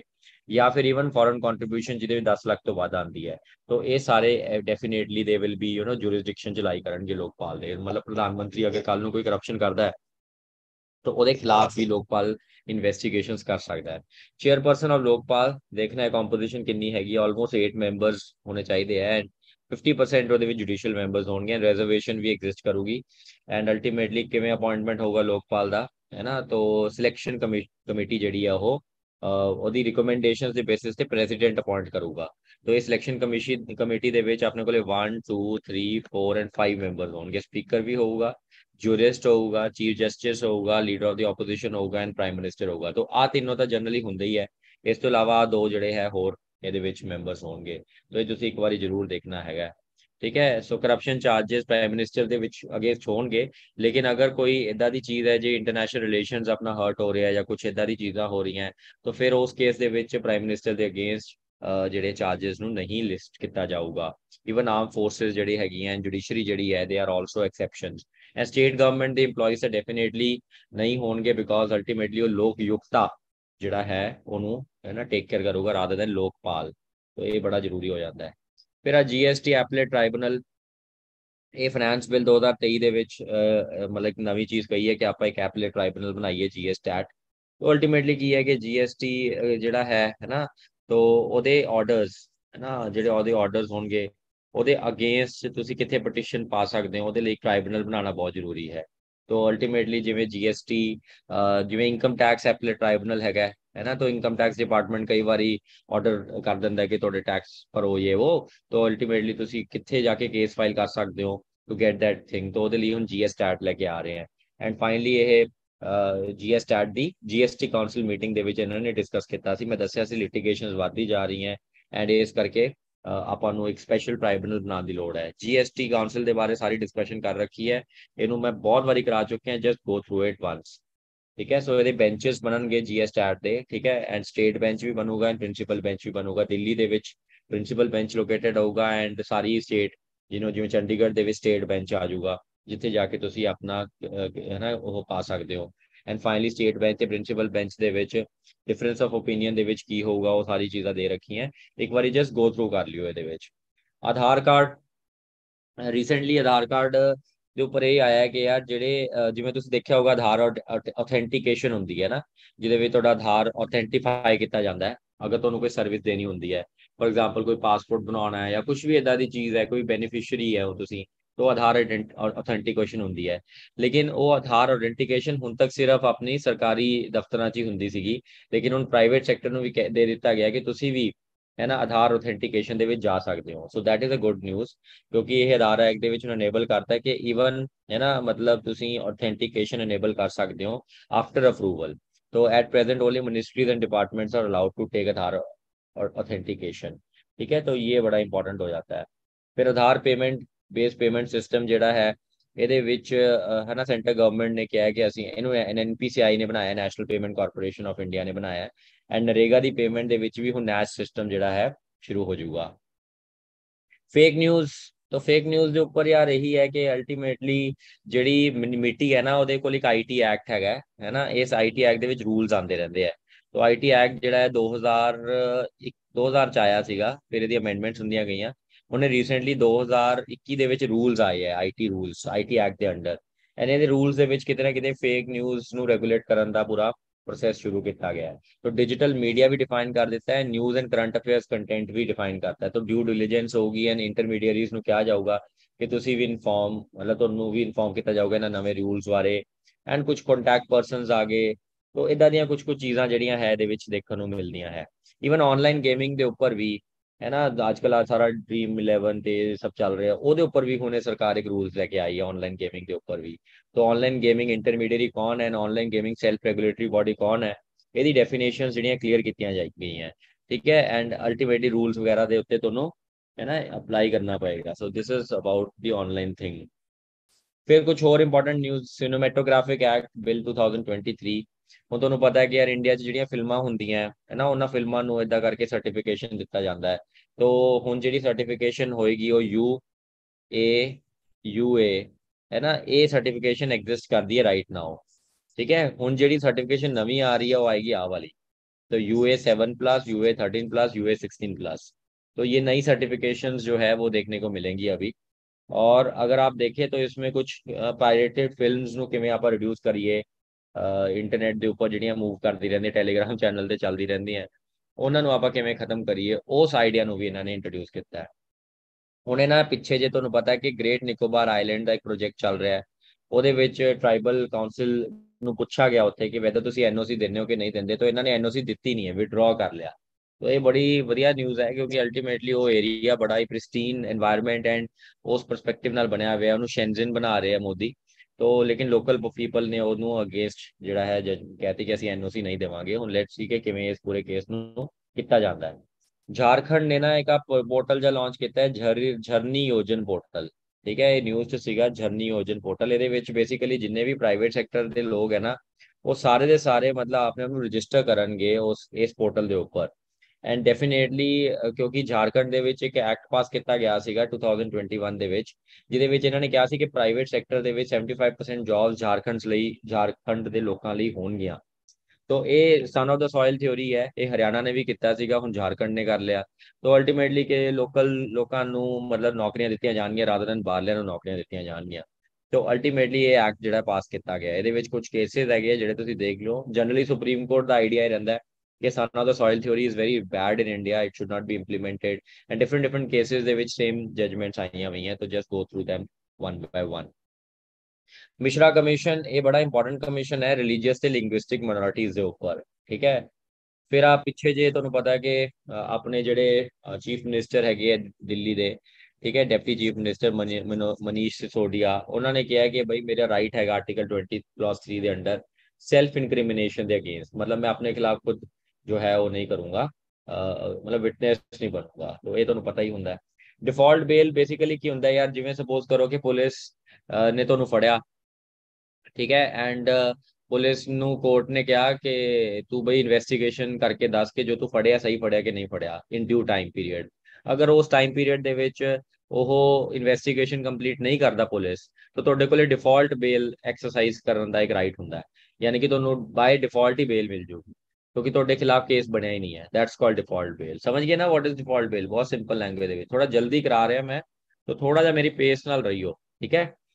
ਰਾਈਟ ਸੋ ਕੋਰਟ ਮਾਰਸ਼ਲ ਤੇ ਆਨੇ ਆਪਾਂ, ਹੈ ਨਾ? ਕੋਰਟ ਮਾਰਸ਼ਲ ਇਹ ਹੁਣੇ ਰੀਸੈਂਟਲੀ ਕਿਤੇ ਕੈਪਟਨ ਨੂੰ ਕੋਰਟ ਮਾਰਸ਼ਲ ਕੀਤਾ ਗਿਆ ਹੈ, ਰਾਸ਼ਟਰਪਤੀ ਕੋਲੇ ਪਾਵਰ ਆਰਟੀਕਲ 72 ਦੇ ਵਿੱਚ, ਹੈ ਨਾ? ਐਂਡ ਪੂਅਰ ਪਰਸਨ ਨੂੰ ਸਪੋਰਟ ਸਕੀਮ ਪੂਅਰ ਪ੍ਰਿਜ਼ਨਰਸ ਨੂੰ ਸਪੋਰਟ ਕਰਨ ਦੀ ਮਿਨਿਸਟਰੀ ਆਫ ਹੋਮ ਅਫੇਅਰਸ ਨੇ ਸਕੀਮ ਚਲਾਤੀ ਹੈ। ਕੈਟ ਕੀ ਚੀਜ਼ ਹੈ ਕੈਟ ਤੁਹਾਨੂੰ ਪਤਾ ਹੈ ਯਾਰ ਜਿਹੜਾ 323 ਆਰਟੀਕਲ ਹੈ ਨਾ ਏ ਹੈ ਨਾ ਇਸ ਆਰਟੀਕਲ ਦੇ ਅੰਡਰ ਏ ਤੇ ਬੀ ਦੋ ਆਰਟੀਕਲ ਹੈ ਇਹ B is for all other tribunals in India A is for only ਹੈ ਨਾ ਮਤਲਬ ਜਿਹੜੇ ਸੈਂਟਰਲ ਐਡਮਿਨਿਸਟ੍ਰੇਟਿਵ ਟ੍ਰਾਈਬੂਨਲ ਹੈ ਮਤਲਬ ਜਿੱਥੇ ਸਾਰੇ ਜਿਹੜੇ ਆਪਣੇ ਸੈਂਟਰ ਗਵਰਨਮੈਂਟ ਦੇ EMPLOYEES ਹੈਗੇ ਜਾਂ ਸਟੇਟ ਗਵਰਨਮੈਂਟ ਦੇ EMPLOYEES ਇਹਨਾਂ ਦੇ ਕੋਈ ਡਿਸਪਿਊਟ ਹੁੰਦੇ ਆ because of the working conditions and ਉਹ ਸਾਰੀ ਚੀਜ਼ਾਂ ਇਹਦੇ ਵਿੱਚ ਐਪਲੀਕੇਬਲ ਆ ਜਾਂਦੀਆਂ ਫਿਰ ਆਰਮ ਫੋਰਸਸ ਟ੍ਰਾਈਬੂਨਲ ਇਹ ਇਹਨਾਂ ਨੇ ਰੀਸੈਂਟਲੀ ਮਤਲਬ ਕੁਝ ਐਕਟ ਹੈਗਾ ਆਰਮ ਫੋਰਸਸ ਟ੍ਰਾਈਬੂਨਲ ਐਕਟ 2007 ਜਿਹਦੇ ਵਿੱਚ ਆਰਮ ਫੋਰਸਸ ਦੇ ਵਿੱਚ ਅਗਰ ਕੋਈ ਐਨਰੋਲਮੈਂਟ ਕੰਡੀਸ਼ਨਲ ਸਰਵਿਸ ਦਾ ਕਾਨੂੰਨ ਹੈਗਾ ਤਾਂ ਇਸ ਐਕਟ ਦੇ ਇਸ ਟ੍ਰਾਈਬੂਨਲ ਦੇ ਵਿੱਚ ਉਹਦਾ ਕੇਸ ਦਰਜ ਹੁੰਦਾ ਹੈ ਫਿਰ ਆ ਪ੍ਰੋਮਿਸਰੀ ਐਸਟੋਪਲ ਇਹ ਨਾ कॉन्ट्रैक्ट लॉ ਦੇ ਵਿੱਚ ਹੁੰਦਾ ਹੈ ਹਾਂਜੀ ਤਾਨਿਆ आपने पढ़ा होगा बेटा कॉन्ट्रैक्ट लॉ क्या होता है ये सर मेरे सिलेबस में आया नहीं है। अच्छा अभी आया नहीं है। तो इसमें ना कुछ होगा यार। इसमें यही है कि यार अगर तुम अग्रीमेंट ऑलरेडी कर लेते हो ना तो तुम बैक आउट नहीं कर सकते ठीक है? On the ground there is no consideration ठीक है? तो इस टाइप का कुछ है। तो कॉन्ट्रैक्ट लॉ अगर दो बंदों में दो लोगों में कॉन्ट्रैक्ट हो गया है उसके बाद तुम वापस नहीं हो सकते अगर कोई नो कंसिडरेशन वाला पॉइंट है मतलब कुछ ऐसा है। ਇੰਪੋਰਟੈਂਟ ਨਹੀਂ ਹੈ ਲਾਅ ਬੈਕਗ੍ਰਾਉਂਡ ਵਾਲੇ ਲੋਕਾਂ ਲਈ ਜ਼ਿਆਦਾ ਇੰਪੋਰਟੈਂਟ ਹੈ। ਆ ਯਾਰ ਕਈ ਵਾਰੀ ਕੀ ਹੁੰਦਾ ਨਾ, ਕੋਈ ਬੰਦਾ ਮਰ ਜਾਂਦਾ ਹੈ ਨਾ ਤਾਂ ਉਹਦੇ ਅੱਗੇ ਬੱਚੇ ਨੂੰ ਨੌਕਰੀ ਮਿਲ ਜਾਂਦੀ ਹੈ। ਇਹਨੂੰ ਕੰਪੈਸ਼ਨੇਟ ਅਪਾਇੰਟਮੈਂਟ ਕਹਿੰਦੇ ਆ। ਠੀਕ ਹੈ ਨਾ, ਸੋ ਅਗਰ ਕੋਈ ਲੈਟਸ ਸੇ ਕਿਸੇ ਡੈਥ ਹੋ ਗਈ, ਤਾਂ ਉਹਦੇ ਮੁੰਡੇ ਨੂੰ ਜਾਂ ਉਹਦੀ ਕੁੜੀ ਨੂੰ ਨੌਕਰੀ ਮਿਲ ਜਾਂਦੀ ਹੈ ਸੇਮ ਡਿਪਾਰਟਮੈਂਟ ਦੇ ਵਿੱਚ ਕੰਪੈਸ਼ਨੇਟ ਗਰਾਊਂਡਸ ਦੇ ਉੱਪਰ। ਤਾਂ ਸੁਪਰੀਮ ਕੋਰਟ ਨੇ ਰੀਸੈਂਟਲੀ ਜਜਮੈਂਟ ਦਿੱਤੀ ਹੈ ਕਿ compassionate appointment is not the right of dependent तो ये डिपेंडेंट का राइट नहीं है। तो आप ये क्लेम नहीं कर सकते जाके कि मुझे कंपैशनेट अपॉइंटमेंट के अंदर मुझे ये मिले। ठीक है? So it is not the right it is actually जो है, ये डिस्क्रिशन है on the H head of the department और you know ministry in charge के भाई वो डिसाइड करेगा कि वेदर इसको कंपैशनेट ग्राउंड पे मिलना चाहिए कि नहीं मिलना चाहिए। कमर्शियल कोर्ट्स ਇਹ ਕਮਰਸ਼ੀਅਲ ਕੋਰਟ ਐਕਟ ਆਇਆ ਸੀ 2015 ਦੇ ਵਿੱਚ, ਜਿਹਦੇ ਵਿੱਚ ਕਮਰਸ਼ੀਅਲ ਕੋਰਟਸ ਲਗਾਏ ਜਾਣਗੇ ਦੇਸ਼ ਦੇ ਦੇ ਵਿੱਚ and they will solve the commercial cases ਫਿਰ ਆ ਬਾਹਰਲੇ ਲੋਕ ਵੀ ਇੰਡੀਆ ਦੇ ਵਿੱਚ ਫੋਰਨ ਲਾਅ ਫਰਮਸ ਇੰਡੀਆ ਚੋਂ ਆ ਜਾਣਗੀਆਂ। ਬਾਹਰ ਕਾਉਂਸਲ ਆਫ ਇੰਡੀਆ ਨੇ ਅਲਾਉ ਕਰਤਾ ਹੈ ਹੈ ਨਾ? ਮੈਨੂੰ ਨਹੀਂ ਕੁਝ ਖਾਸ ਲੱਗਿਆ। ਕੰਜੂਮਰ ਡਿਸਪਿਊਟ ਇਹ ਵੀ ਤੁਸੀਂ ਛੱਡ ਦਿਓ। ਫਿਰ ਆਹ national generic document registration system and unique land party parcel identification number ਤੋਂ ਬੇਸਿਕਲੀ ਇਹ ਤੁਹਾਨੂੰ ਪਤਾ ਹੈ ਕਿ ਇੱਕ ਭੂ ਆਧਾਰ ਕਰਕੇ ਬਣਾਇਆ ਜਾ ਰਿਹਾ ਹੈ ਨੈਸ਼ਨਲ ਇਨਫੋਰਮੇਸ਼ਨ ਕਾਰਪੋਰੇਸ਼ਨ ਬਣਾ ਰਹੀ ਹੈ ਨੈਸ਼ਨਲ ਹੈ ਨਾ ਐਂਡ ਇਹਦੇ ਵਿੱਚ ਲੈਂਡ ਰਿਕਾਰਡ ਮੋਡਰਨਾਈਜੇਸ਼ਨ ਪ੍ਰੋਗਰਾਮ ਜਿਹੜਾ ਹੋ ਰਿਹਾ ਇੰਡੀਆ ਦਾ, ਉਹਦੇ ਵਿੱਚ 14 ਡਿਜਿਟ ਆਈਡੈਂਟੀਫਿਕੇਸ਼ਨ ਨੰਬਰ ਦਿੱਤਾ ਜਾਊਗਾ ਲੈਂਡ ਪਾਰਸਲ ਨੂੰ। ਸੋ ਬੇਸਿਕਲੀ ਜ਼ਮੀਨ ਦੇ ਨੰਬਰ ਲੱਗਣਗੇ ਐਂਡ ਇੱਕ ਮਤਲਬ ਪੂਰੇ ਇੰਡੀਆ ਦੇ ਵਿੱਚ ਹਰੇਕ ਜ਼ਮੀਨ ਦਾ ਇੱਕ ਨੰਬਰ ਹੋਊਗਾ, ਜਿਹੜਾ ਕਿ ਯੂ ਪਿੰਨ ਹੋਊਗਾ। ਸੋ ਯੂਲ ਪਿੰਨ ਜਿਹੜਾ ਹੈ ਉਸ ਚੀਜ਼ ਦੇ ਗੱਲ ਰਿਗਾਰਡਿੰਗ ਹੈ। ਨਾਗਪੁਰ ਰੈਜ਼ੋਲੂਸ਼ਨ हाँ जी what is this Nagpur resolution ये कुछ नहीं है यार सर्विस डिलीवरी गवर्नेंस ठीक है? बस इन्होंने याद करना है गवर्नेंस ਦੇ ਰਿਗਾਰਡਿੰਗ ਕੁਝ ਨਾ ਕੁਝ ਚੇਂजेस ਹੈਗੇ ਆ ਆਲ ਇੰਡੀਆ ਸਰਵਿਸ ਰੂਲਸ ਦੇ ਵਿੱਚ ਕੁਝ ਚੇਂजेस ਕੀਤੇ ਆ ਐਂਡ ਇਹਨਾਂ ਨੇ ਕਿਹਾ ਕੱਟ ਕਰ ਦੋ ਠੀਕ ਹੈ ਸ਼ਾਇਦ ਨਾ ਪੁੱਛਣ ਇਹ ਗੁੱਡ ਗਵਰਨੈਂਸ ਇੰਡੈਕਸ ਆ ਸਕਦਾ ਤੁਹਾਨੂੰ ਟਾਪ ਆਨਸਰ ਇਹ ਇਹ ਡਾਰਕ ਲੈ ਕੇ ਆਂਦਾ ਹੈ ਠੀਕ ਹੈ ਐਂਡ ਇਹਦੇ ਵਿੱਚ ਆਪਾਂ ਸਟੇਟਸ ਐਂਡ ਡਿਸਟ੍ਰਿਕਟਸ ਨੂੰ ਮਤਲਬ ਰੈਂਕਿੰਗ ਕਰ ਦੇਂਗੇ ਉਹ ਕਿੰਨਾ ਗਵਰਨੈਂਸ ਅੱਛਾ ਕਰਦੇ ਪਏ ਆ। 10 ਸੈਕਟਰਸ ਦੇ ਉੱਪਰ ਰੈਂਕਿੰਗ ਹੁੰਦੀ ਹੈ। ਐਂਡ ਗਵਰਨੈਂਸ ਨੌਲੇਜ ਸੈਂਟਰਸ ਇਹ ਵੀ ਡਾਰਕ ਲੈ ਕੇ ਆਂਦਾ ਹੈ। ਐਂਡ ਸਮਿਟ ਫॉर ਡੈਮੋਕ੍ਰੇਸੀ ਦੇ ਵਿੱਚ ਇਲੈਕਸ਼ਨ ਕਮਿਸ਼ਨ ਆਫ ਇੰਡੀਆ ਨੇ ਹੋਸਟ ਕੀਤੀ ਹੈ ਡੈਮੋਕ੍ਰੇਸੀ ਸਮਿਟ ਠੀਕ ਹੈ तो ਇਹ ਥੋੜਾ ਥੋੜਾ ਯਾਦ ਕਰ ਲੈਣਾ। ਚਲੋ ਜੀ let's go to international relations India Bhutan relation ਦੇ ਉੱਪਰ ਆਨੇ ਸਰ ਇੰਡੀਆ ਭੂਟਾਨ ਰਿਲੇਸ਼ਨ ਦੇ ਵਿੱਚ ਤੁਸੀਂ ਦੇਖੋਗੇ ਹੁਣ ਰੀਸੈਂਟਲੀ ਕਿੰਗ ਆਫ ਭੂਟਾਨ ਨੇ ਇੰਡੀਆ ਨੂੰ ਵਿਜ਼ਿਟ ਕੀਤਾ। ਆ ਲੋਕੇਸ਼ਨ ਹੈ ਭੂਟਾਨ ਦੀ। ਆ ਭੂਟਾਨ ਦਾ ਡੋਕਲਾਮ ਪਲੇਟੂ ਹੈ। ਨਥੂਲਾ ਪਾਸ ਬਿਲਕੁਲ ਕੋਲ ਹੈ। याद रखना है China India and this is the chicken neck ठीक है so this is very very important तो भूटान को हमें हमने कुछ क्रेडिट फैसिलिटी प्रोवाइड कर दी मतलब कुछ लोन वोन दे दिया फिर उसके बाद है ना आपको पता ही है कि यूपे जीपे वगैरह चलन लग गया थे तो इंटरनेट इंटर जीपे का पूरा सिस्टम बन गया फिर जापान दी सॉरी भूटान दी एक रिसर्च ऑर्गेनाइजेशन है ड्रकन ठीक है ड्रूक बहुत फेमस है ड्रुकरेन ਉਹਨੂੰ ਇੰਡੀਆ ਦੇ ਨੈਸ਼ਨਲ ਨੌਲੇਜ ਨੈਟਵਰਕ ਨਾਲ ਵੀ ਕਨੈਕਟ ਕਰ ਲਿਆ ਐਂਡ ਡੈਫੀਨਿਟਲੀ ਫਿਰ ਹਾਈਡਰੋ ਪ੍ਰੋਜੈਕਟਸ ਐਂਡ ਸਿਕਿਉਰਿਟੀ ਲਈ ਵੀ ਕੁਝ ਨਾ ਕੁਝ ਇਨੀਸ਼ੀਏਟਿਵਸ ਕੀਤੇ ਗਏ ਹੈ ਤੋ ਇਹ ਕੁਝ ਹੈ ਨਾ ਲਾਰਜੈਸਟ ਟ੍ਰੇਡਿੰਗ ਪਾਰਟਨਰ ਇੰਡੀਆ ਦਾ ਹੈ ਐਂਡ ਫਰੈਂਡਸ਼ਿਪ ਟ੍ਰੀਟੀ ਪੁਰਾਣੀ 1949 ਦੇ ਵਿੱਚ ਹੋਈ ਸੀਗੀ just go through it Latin America ਹੈ ਨਾ ਤੁਹਾਨੂੰ ਪਤਾ ਹੈ ਲੈਟਿਨ ਅਮਰੀਕਾ ਕਿੱਥੇ ਹੈਗਾ ਤੋ ਜਿਵੇਂ ਆਪਣਾ ਨਾਰਥ ਅਮਰੀਕਾ ਹੋ ਗਿਆ ਠੀਕ ਹੈ ਨਾ ਫਿਰ ਸਾਊਥ ਅਮਰੀਕਾ ਹੋ ਗਿਆ ਫਿਰ ਆਹ ਸਾਰਾ ਸੈਂਟਰਲ ਅਮਰੀਕਾ ਹੋ ਗਿਆ ਤੇ ਉਹ ਏਰੀਆਜ਼ ਹੈ ਹੈ ਨਾ ਅਮਰੀਕਾ ਦੇ ਜਿੱਥੇ ਸਪੈਨਿਸ਼ ਲੋਕ ਜਿਹੜੇ ਰਹਿੰਦੇ ਸੀਗੇ, ਮਤਲਬ ਸਪੈਨਿਸ਼ ਕੰਟਰੋਲ ਹੁੰਦਾ ਸੀਗਾ ਲੈਟਿਨ ਅਮਰੀਕਾ ਕੰਟਰੀਜ਼ ਹੋ ਗਈਆਂ, ਤੋਂ ਆਪਣੇ ਦੇਸ਼ ਦੇ external affair minister S Jai Shankar ਜਿਹੜਾ, ਹੁਣੇ ਇਹ ਚਾਰ ਲੈਟਿਨ ਅਮਰੀਕਨ ਕੰਟਰੀਜ਼ ਨੂੰ ਵਿਜ਼ਿਟ ਕਰਕੇ ਆਏ ਹੈ ਸੋ ਪੈਨਾਮਾ ਗੁਆਨਾ ਕੋਲੰਬੀਆ ਤੇ ਡੋਮਿਨਿਕਨ ਡੋਮਿਨਿਕਨ ਰਿਪਬਲਿਕ ਠੀਕ ਹੈ ਸੋ ਇਹ ਪਹਿਲੇ ਫੋਰਨ ਮਿਨਿਸਟਰ ਹੋਏ ਆ ਜਿਨ੍ਹਾਂ ਨੇ ਇਹਨਾਂ ਕੰਟਰੀਜ਼ ਨੂੰ ਵਿਜ਼ਿਟ ਕੀਤਾ। ਹੈ ਐਂਡ ਕੋਈ central American integration system SICA, ਉਹਦੇ ਵਿੱਚ ਵੀ ਇੰਡੀਆ ਨੇ ਪਾਰਟਿਸਿਪੇਟ ਕੀਤਾ। ਕੈਰੀਕॉम ਇੱਕ ਕੈਰੀਬੀਅਨ ਕਮਿਊਨਿਟੀ ਹੈ ਕਾਮਨ ਮਾਰਕੀਟ ਹੈ। ਮਤਲਬ Caribbean community and common market ਜਿਵੇਂ ਈਯੂ ਹੈ ਨਾ, ਉਵੇਂ ਕੈਰੇਬੀਅਨ ਕੰਟਰੀਜ਼ ਦਾ ਕਾਮਨ ਮਾਰਕੀਟ ਹੈ। ਉਹਦੇ ਨਾਲ ਵੀ ਇੰਡੀਆ ਦਾ ਕੋਚੇਅਰ ਹੋਇਆ ਹੈ। ਸਿਗਨੀਫੀਕੈਂਸ ਕੀ ਹੈ? ਗੁਆਨਾ ਦੇ ਵਿੱਚ ਕੀ ਹੈ? ਪਨਾਮਾ 'ਚ ਕੀ ਹੈ? ਕੋਲੰਬੀਆ 'ਚ ਕੀ ਹੈ? ਤੋ ਇਹ ਸਾਰੀ ਚੀਜ਼ਾਂ ਇੱਕ ਵਾਰੀ ਤੁਸੀਂ ਦੇਖ ਲਿਓ। Guyana is home world largest oil reserves Panama is definitely India's gateway to Latin America ਕਿਉਂਕਿ ਪਨਾਮਾ ਕੈਨਾਲ ਬੜਾ ਇੰਪੋਰਟੈਂਟ ਹੈਗਾ ਫਿਰ ਕੋਲੰਬੀਆ ਕਰੂਡ ਆਇਲ ਸਪਲਾਈ ਕਰਦਾ ਇੰਡੀਆ ਨੂੰ। ਹੈ ਨਾ ਸਿੱਕਾ ਆ ਗਿਆ ਜਿਹਦੇ ਵਿੱਚ ਇੰਡੀਆ ਨੇ ਪਾਰਟਿਸਿਪੇਟ ਕੀਤਾ ਹੈ। ਇੰਡੀਆ, ਇਟਲੀ ਦੇ 75 ਸਾਲ ਹੋ ਗਏ ਰਿਲੇਸ਼ਨਸ਼ਿਪ ਨੂੰ। ਮੈਨੂੰ ਨਹੀਂ ਲੱਗਦਾ ਇਟਲੀ ਤੋਂ ਕੋਈ ਨਾ ਕੋਈ ਕੁਐਸਚਨ ਆਊਗਾ। ਠੀਕ ਹੈ so India Pacific ocean initiative 2019 ਦੇ ਵਿੱਚ ਇੰਡੀਆ ਨੇ ਲਾਂਚ ਕੀਤਾ ਸੀਗਾ। ਸਾਗਰ ਇਨੀਸ਼ੀਏਟਿਵ ਇੰਡੀਆ ਦਾ ਬੜਾ ਇੰਪੋਰਟੈਂਟ ਇਨੀਸ਼ੀਏਟਿਵ ਹੈ, ਜਿਹਦੇ ਵਿੱਚ ਤੁਹਾਨੂੰ ਪਤਾ ਹੈ ਕਿ ਜਿੰਨਾ ਵੀ ਇੰਡੀਅਨ ਓਸ਼ਨ ਦੇ ਵਿੱਚ ਕੰਟਰੀਜ਼ ਹੈਗੀਆਂ, ਉਹਨਾਂ ਨਾਲ India economic and you know cultural relations develop ਕਰ ਰਿਹਾ ਹੈ। ਫਿਰ ਲੀਸਟ ਡਿਵੈਲਪ ਕੰਟਰੀਜ਼ ਇਹ ਉਹ ਦੇਸ਼ ਹੁੰਦੇ ਆ ਜਿਹੜੇ ਬਹੁਤ ਜ਼ਿਆਦਾ ਪੂਅਰ ਦੇਸ਼ ਹੈ। 40% ਆਫ ਦਾ ਵਰਲਡ ਪੂਅਰ ਇਹਨਾਂ ਦੇ ਵਿੱਚ ਹੈਗੇ ਆ ਜੀਡੀਪੀ ਬਹੁਤ ਘੱਟ ਹੈ ਐਫਡੀਆਈ ਬਹੁਤ ਘੱਟ ਹੈ ਪੋਪੂਲੇਸ਼ਨ ਵੀ ਬਹੁਤ ਘੱਟ ਹੈ ਐਂਡ ਆਲਮੋਸਟ ਬਹੁਤ ਹੀ ਬੁਰਾ ਹਾਲ ਹੈ ਤੇ ਲੀਸਟ ਡਿਵੈਲਪ ਕੰਟਰੀਜ਼ ਦੇ ਵਿੱਚ ਹੁਣ ਇਹ ਲੀਸਟ ਡਿਵੈਲਪ ਕੰਟਰੀਜ਼ ਦੇ ਕਾਨਫਰੰਸ ਹੋਈ ਸੀ ਇੱਕ ਯੂਐਨ ਕਾਨਫਰੰਸ ਹੋਈ ਸੀਗੀ ਜਿਹਦੇ ਵਿੱਚ ਦੋਹਾ ਪੋਲੀਟੀਕਲ ਡਿਕਲੇਰੇਸ਼ਨ ਹੋਈ ਹੈ ਤਾਂ ਤੁਹਾਨੂੰ ਕੁਐਸਚਨ ਇਹ ਪੁੱਛ ਲੈਣਗੇ ਕਿ ਦੋਹਾ ਪੋਲੀਟੀਕਲ ਡਿਕਲੇਰੇਸ਼ਨ ਠੀਕ ਹੈ ਇਹ ਦੋਹਾ ਤੁਹਾਨੂੰ ਪਤਾ ਕਤਰ ਦੇ ਵਿੱਚ ਹੈ ਦੋਹਾ ਪੋਲੀਟੀਕਲ ਡਿਕਲੇਰੇਸ਼ਨ ਜਿਹੜੀ ਹੈ ਉਹ ਮਤਲਬ ਕਿੱਥੇ ਕਿਹਦੇ ਲਈ ਹੋਈ ਹੈ ਐਲਡੀਸੀਜ਼ ਲਈ ਹੋਈ ਹੈ 2022 ਦੇ ਵਿੱਚ ਨਿਊਯਾਰਕ ਦੇ ਵਿੱਚ ਇਹ ਪੂਰੀ ਹੋਈ ਹੈ। ਤੇ ਇਹਦੇ ਵਿੱਚ ਉਹੀ ਲੀਸ ਡਿਵੈਲਪ ਕੰਟਰੀਜ਼ ਨੂੰ ਕਿਵੇਂ ਆਪਾਂ ਉੱਪਰ ਲੈ ਕੇ ਜਾਈਏ, ਉਹਨਾਂ ਦੀ ਇਨਕਮ ਵਗੈਰਾ ਕਿਵੇਂ ਇੰਪਰੂਵ ਕਰੀਏ। ਬਸ ਤੁਸੀਂ ਇੰਨਾ ਯਾਦ ਕਰਨਾ ਹੈ ਦੋਹਾ ਪੋਲਿਟੀਕਲ ਡਿਕਲੇਰੇਸ਼ਨ ਠੀਕ ਹੈ? ਭੂਟਾਨ ਜਿਹੜਾ ਹੈ 7th ਨੇਸ਼ਨ ਬਣ ਗਿਆ, ਜੋ ਕਿ ਰਿਮੂਵ ਕਰ ਦਿੱਤਾ ਗਿਆ। ਸੋ ਇਵਨ ਰਿਮੂਵ ਕਰ ਦਿੱਤਾ ਜਾਂਦਾ ਹੈ ਲੀਜ਼ ਡਿਵੈਲਪ ਕੰਟਰੀਜ਼ ਦੇ ਵਿੱਚੋਂ। ਆ ਸਾਰੇ ਲੀਜ਼ ਡਿਵੈਲਪ ਕੰਟਰੀਜ਼ ਦਾ ਆਈਡੈਂਟੀਫਿਕੇਸ਼ਨ ਕ੍ਰਾਈਟੇਰੀਆ ਵੀ ਇੱਕ ਵਾਰੀ ਦੇਖ ਲਿਓ। ਇੱਕ ਤਾਂ ਜੀਐਨਆਈ ਪਰ ਕੈਪੀਟਾ ਹੈ ਹਿਊਮਨ ਐਸੈਟ ਇੰਡੈਕਸ ਹੁੰਦਾ ਹੈ and economically and vulnerability index ਹੁੰਦਾ ਹੈ। ਐਂਡ ਇਹਨੂੰ ਕੌਣ ਜੋ ਹੈ ਡਿਫਾਈਨ ਕਰਦਾ ਹੈ? ਯੂਨਾਈਟਿਡ ਨੇਸ਼ਨਸ ਇਹ ਐਲਡੀਸੀ ਕੰਟਰੀ ਹੈਗੀ ਹੈ।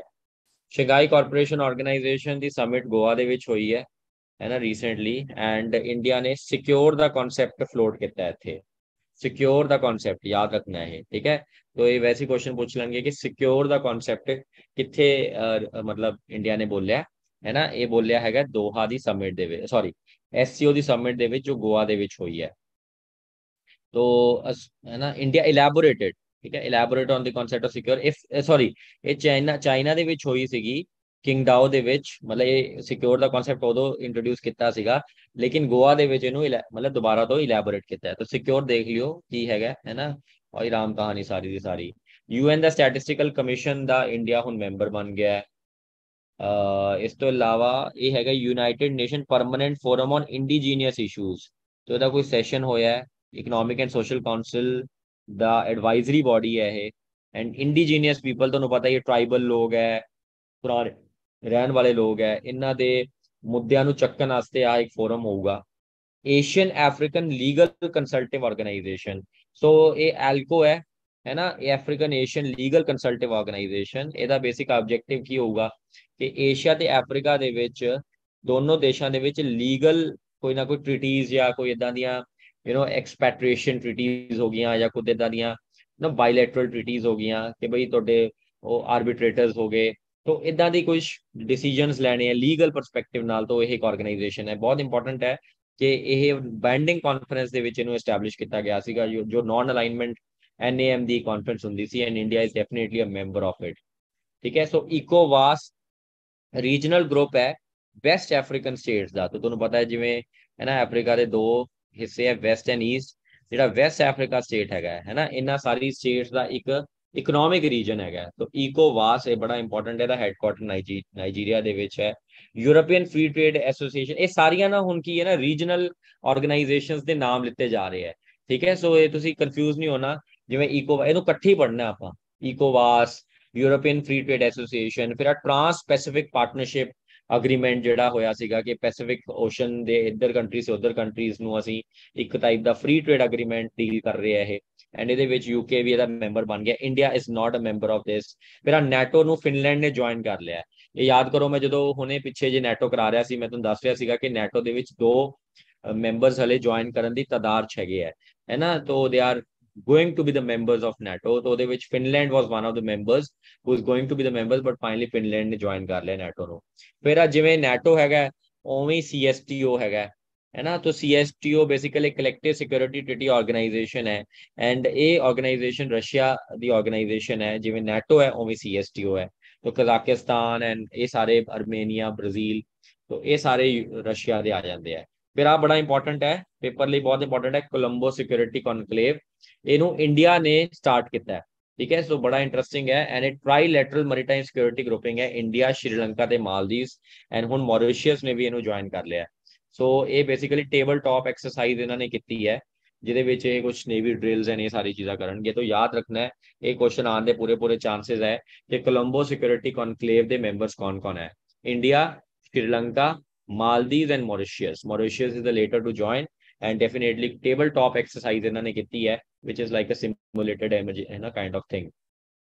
ਫਿਰ ਰਾਸੀਨਾ ਡਾਇਲੋਗ ਇਹ ਪੀਸੀਐਸ ਪੁੱਛਿਆ ਸੀਗਾ ਬੈਕ ਇਨ ਦ ਡੇ 2020 ਵਾਲੇ ਪੀਸੀਐਸ ਦੇ ਵਿੱਚ ਤੋਂ ਉਹਦੇ ਵਿੱਚ ਪੁੱਛਿਆ ਸੀ ਰਾਈਸੀਨਾ ਡਾਇਲੋਗ ਕੀ ਹੁੰਦਾ ਹੈ ਇਹ ਬੇਸਿਕਲੀ ਰਾਈਸੀਨਾ ਹਿਲਸ ਤੁਹਾਨੂੰ ਪਤਾ ਹੀ ਹੈ ਜਿੱਥੇ ਇੰਡੀਅਨ ਗਵਰਨਮੈਂਟ ਬੈਠਦੀ ਹੈ ਉਹ ਸਾਰਾ ਪਾਰਲੀਮੈਂਟ ਹਾਊਸ ਹੈ ਉਹ ਉੱਥੇ ਆਬਜ਼ਰਵਰ ਰਿਸਰਚ ਫਾਊਂਡੇਸ਼ਨ ਕਰਕੇ ਇੱਕ ਆਰਗੇਨਾਈਜੇਸ਼ਨ ਹੈ ORF ਇਹ ਸਾਇਦ ਉਹਦੇ ਚ ਆਇਆ ਸੀ ਨੈਪ ਤਹਿਸੀਲਦਾਰ ਦੇ ਪੇਪਰ ਚ ਆਇਆ ਸੀ not in that ਇਹ ਨੈਪ ਤਹਿਸੀਲਦਾਰ ਦੇ ਪੇਪਰ ਚ ਆਇਆ ਸੀ ਰਾਈਸੀਨਾ ਡਾਇਲੋਗ ਹੈ ਨਾ ਮਨਜੀਤ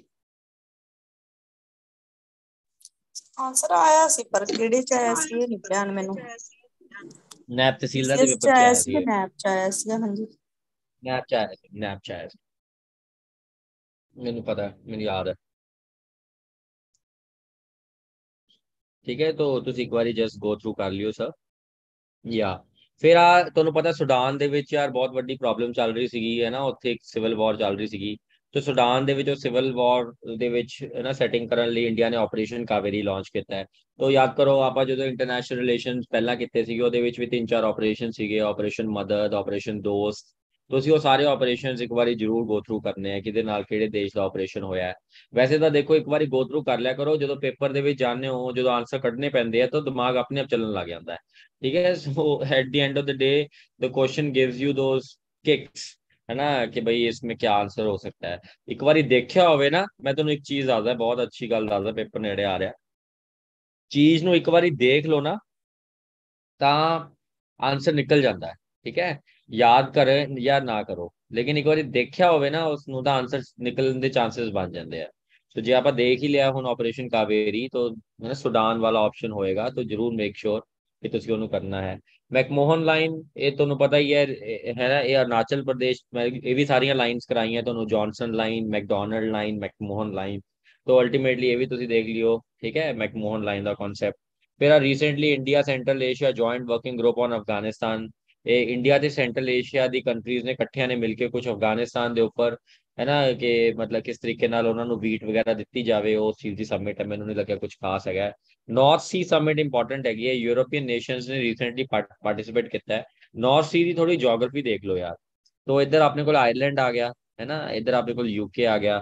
ਐਂਡ ਯੂਕੇ uh, ਤੇ ਆ ਸਾਰੀਆਂ ਜਿਹੜੀਆਂ ਸਕੈਂਡੀਨੇਵੀਅਨ ਕੰਟਰੀਜ਼ ਹੈ ਐਂਡ ਡੈਫੀਨਿਟਲੀ ਡੈਨਮਾਰਕ ਹੋ ਗਿਆ, ਇਹਦੇ ਵਿੱਚ ਆ ਸਾਰਾ ਜਿਹੜਾ ਆ ਸੀ ਹੈ ਪੂਰੀ ਦੀ ਪੂਰੀ ਦਿਸ ਇਜ਼ ਦ ਨਾਰਥ ਸੀ ਠੀਕ ਹੈ? ਸੋ ਨਾਰਥ ਸੀ ਦੀ ਜੀਓਗ੍ਰਾਫੀ ਬਿਲਕੁਲ ਕਲੀਅਰ ਹੋਣੀ ਚਾਹੀਦੀ ਹੈ। ਨੀਚੇ ਆਪਣੇ ਕੋਲੇ France Belgium Netherland Denmark and definitely ਇਧਰ ਨਾਰਵੇ ਇਧਰ ਯੂਕੇ ਹੈ ਨਾ? So this entire is the North Sea and this is very you know rich in gases ਤੋ ਇੱਥੇ ਬਹੁਤ ਜ਼ਿਆਦਾ ਨੈਚੁਰਲ ਗੈਸ ਐਂਡ ਉਹ ਹਾਈਡਰੋਜਨ ਪ੍ਰੋਡਕਸ਼ਨ ਐਂਡ ਉਹ ਸਾਰੀ ਚੀਜ਼ਾਂ ਦੇਖਣ ਨੂੰ ਮਿਲਦੀਆਂ।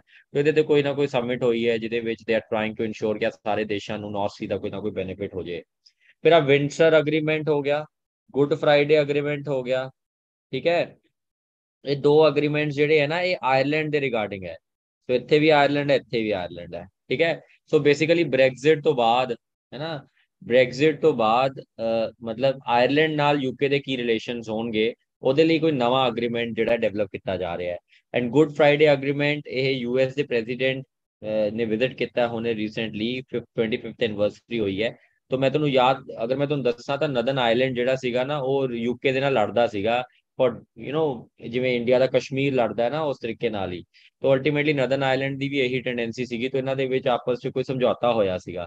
ਉਹਨੂੰ ਗੁੱਡ ਫਰਾਈਡੇ ਐਗਰੀਮੈਂਟ ਕਹਿੰਦੇ ਆ ਤੋਂ ਉਹਨੂੰ ਯੂਐਸ ਨੇ ਬ੍ਰੋਕਰ ਕੀਤਾ ਸੀਗਾ। ਠੀਕ ਹੈ? ਤੋ ਇਹ ਯਾਦ ਰੱਖਣਾ, ਦੋਨੋਂ ਹੀ विंडसर ने good Friday agreement is with respect to Ireland operation interflex a UK ने उन्हें मतलब ना यूक्रेन को सपोर्ट की है in war against Russia Stockholm agreement Stockholm ਜਿਹੜਾ ਇੱਕ ਕਨਵੈਨਸ਼ਨ ਅਲੱਗ ਹੈ ਠੀਕ ਹੈ ਉਹ এনवायरमेंट ਦੀ ਕਨਵੈਨਸ਼ਨ ਹੈ ਤੇ ਸਟਾਪ ਸਟਾਕholm ਅਗਰੀਮੈਂਟ ਅਲੱਗ ਹੈ ਇਹ ਮਿਲਟਰੀ ਪ੍ਰਿਜ਼ਨਰ ਸਵੈਪ ਹੋਇਆ ਬੇਸਿਕਲੀ ਇਹਦੇ ਵਿੱਚ ਮਤਲਬ ਸਟਾਕਹੋਮ ਐਗਰੀਮੈਂਟ ਹੋਇਆ ਸੀਗਾ, ਜਿਹਦੇ ਵਿੱਚ ਇਹਨਾਂ ਨੇ ਕੁਝ ਇਦਾਂ ਦੇ ਮਿਲਟਰੀ ਪ੍ਰਿਜ਼ਨਰਸ ਨੂੰ ਕਿਵੇਂ ਆਪਾਂ ਇੱਕ ਦੂਜੇ ਨਾਲ ਐਕਸਚੇਂਜ ਕਰੀਏ, ਤਾਂ ਇਸ ਟਾਈਪ ਦੀਆਂ ਚੀਜ਼ਾਂ ਜਿਹੜੀਆਂ ਹੈ ਦੇਖਣ ਨੂੰ ਮਿਲੇ ਯਮਨ ਦੇ ਵਿੱਚ ਜਿਹੜਾ ਕਨਫਲਿਕਟ ਚੱਲ ਰਿਹਾ ਨਾ, ਉਹਦੇ ਵਿੱਚ ਇਹ ਐਗਰੀਮੈਂਟ ਹੋਇਆ ਸੀਗਾ।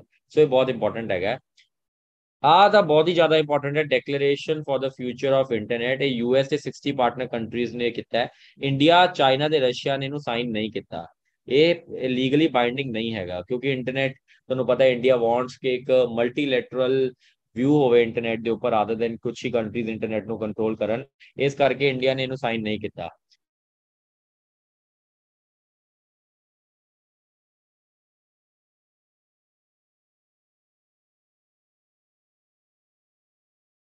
ਰੈਂਕ 1 ਤੇ ਹੈ। ਤੇਰਾ ਕੋਈ ਸਿਕਿਉਰਿਟੀ ਕਾਉਂਸਲ ਦਾ ਰੈਜ਼ੋਲੂਸ਼ਨ ਹੈ। ਠੀਕ ਹੈ। ਕੱਟ ਕਰ ਦਿਓ ਇਹਨੂੰ। ਯੂਐਨ ਡੈਮੋਕ੍ਰੇਸੀ ਫੰਡ ਹੈ।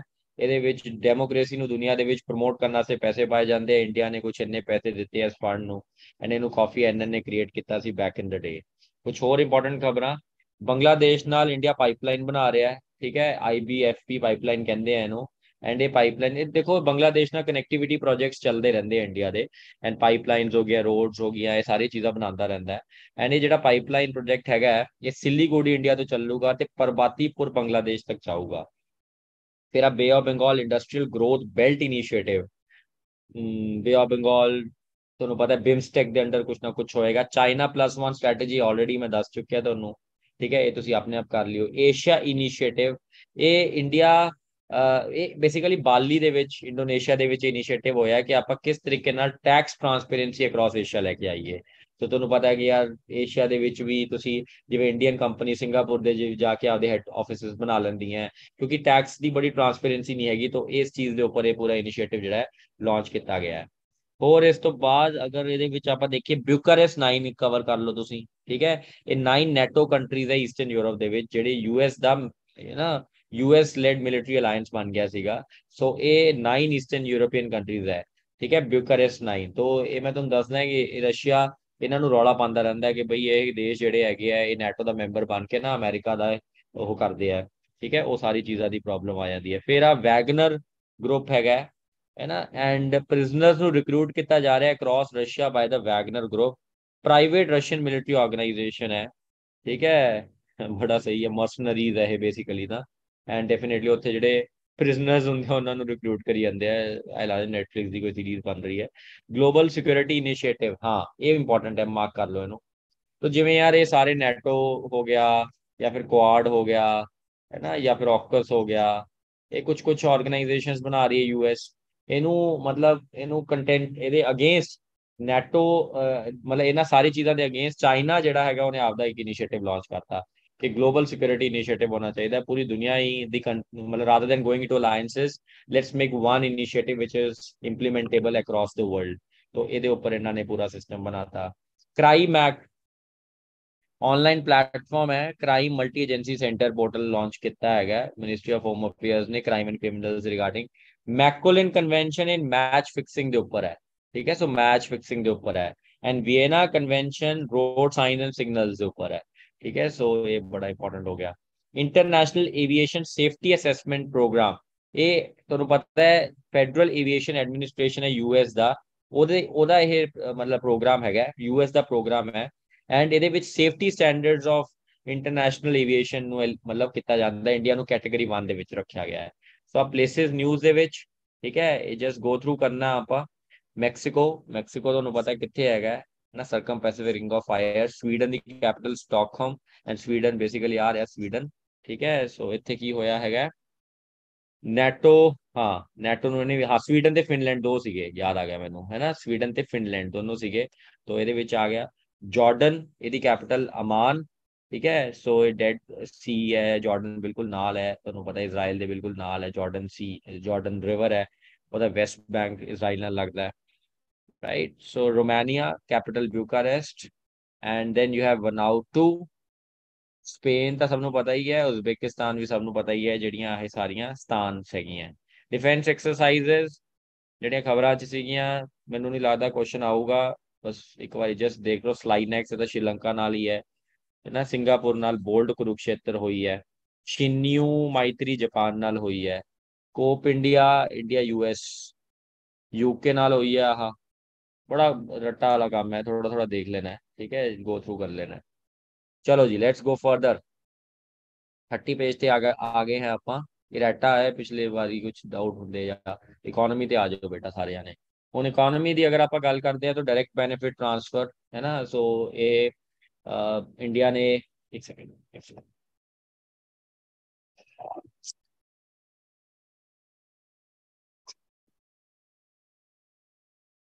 या गाइस एक सेकंड खड़ो कैमरा हिल गया या I am I am visible now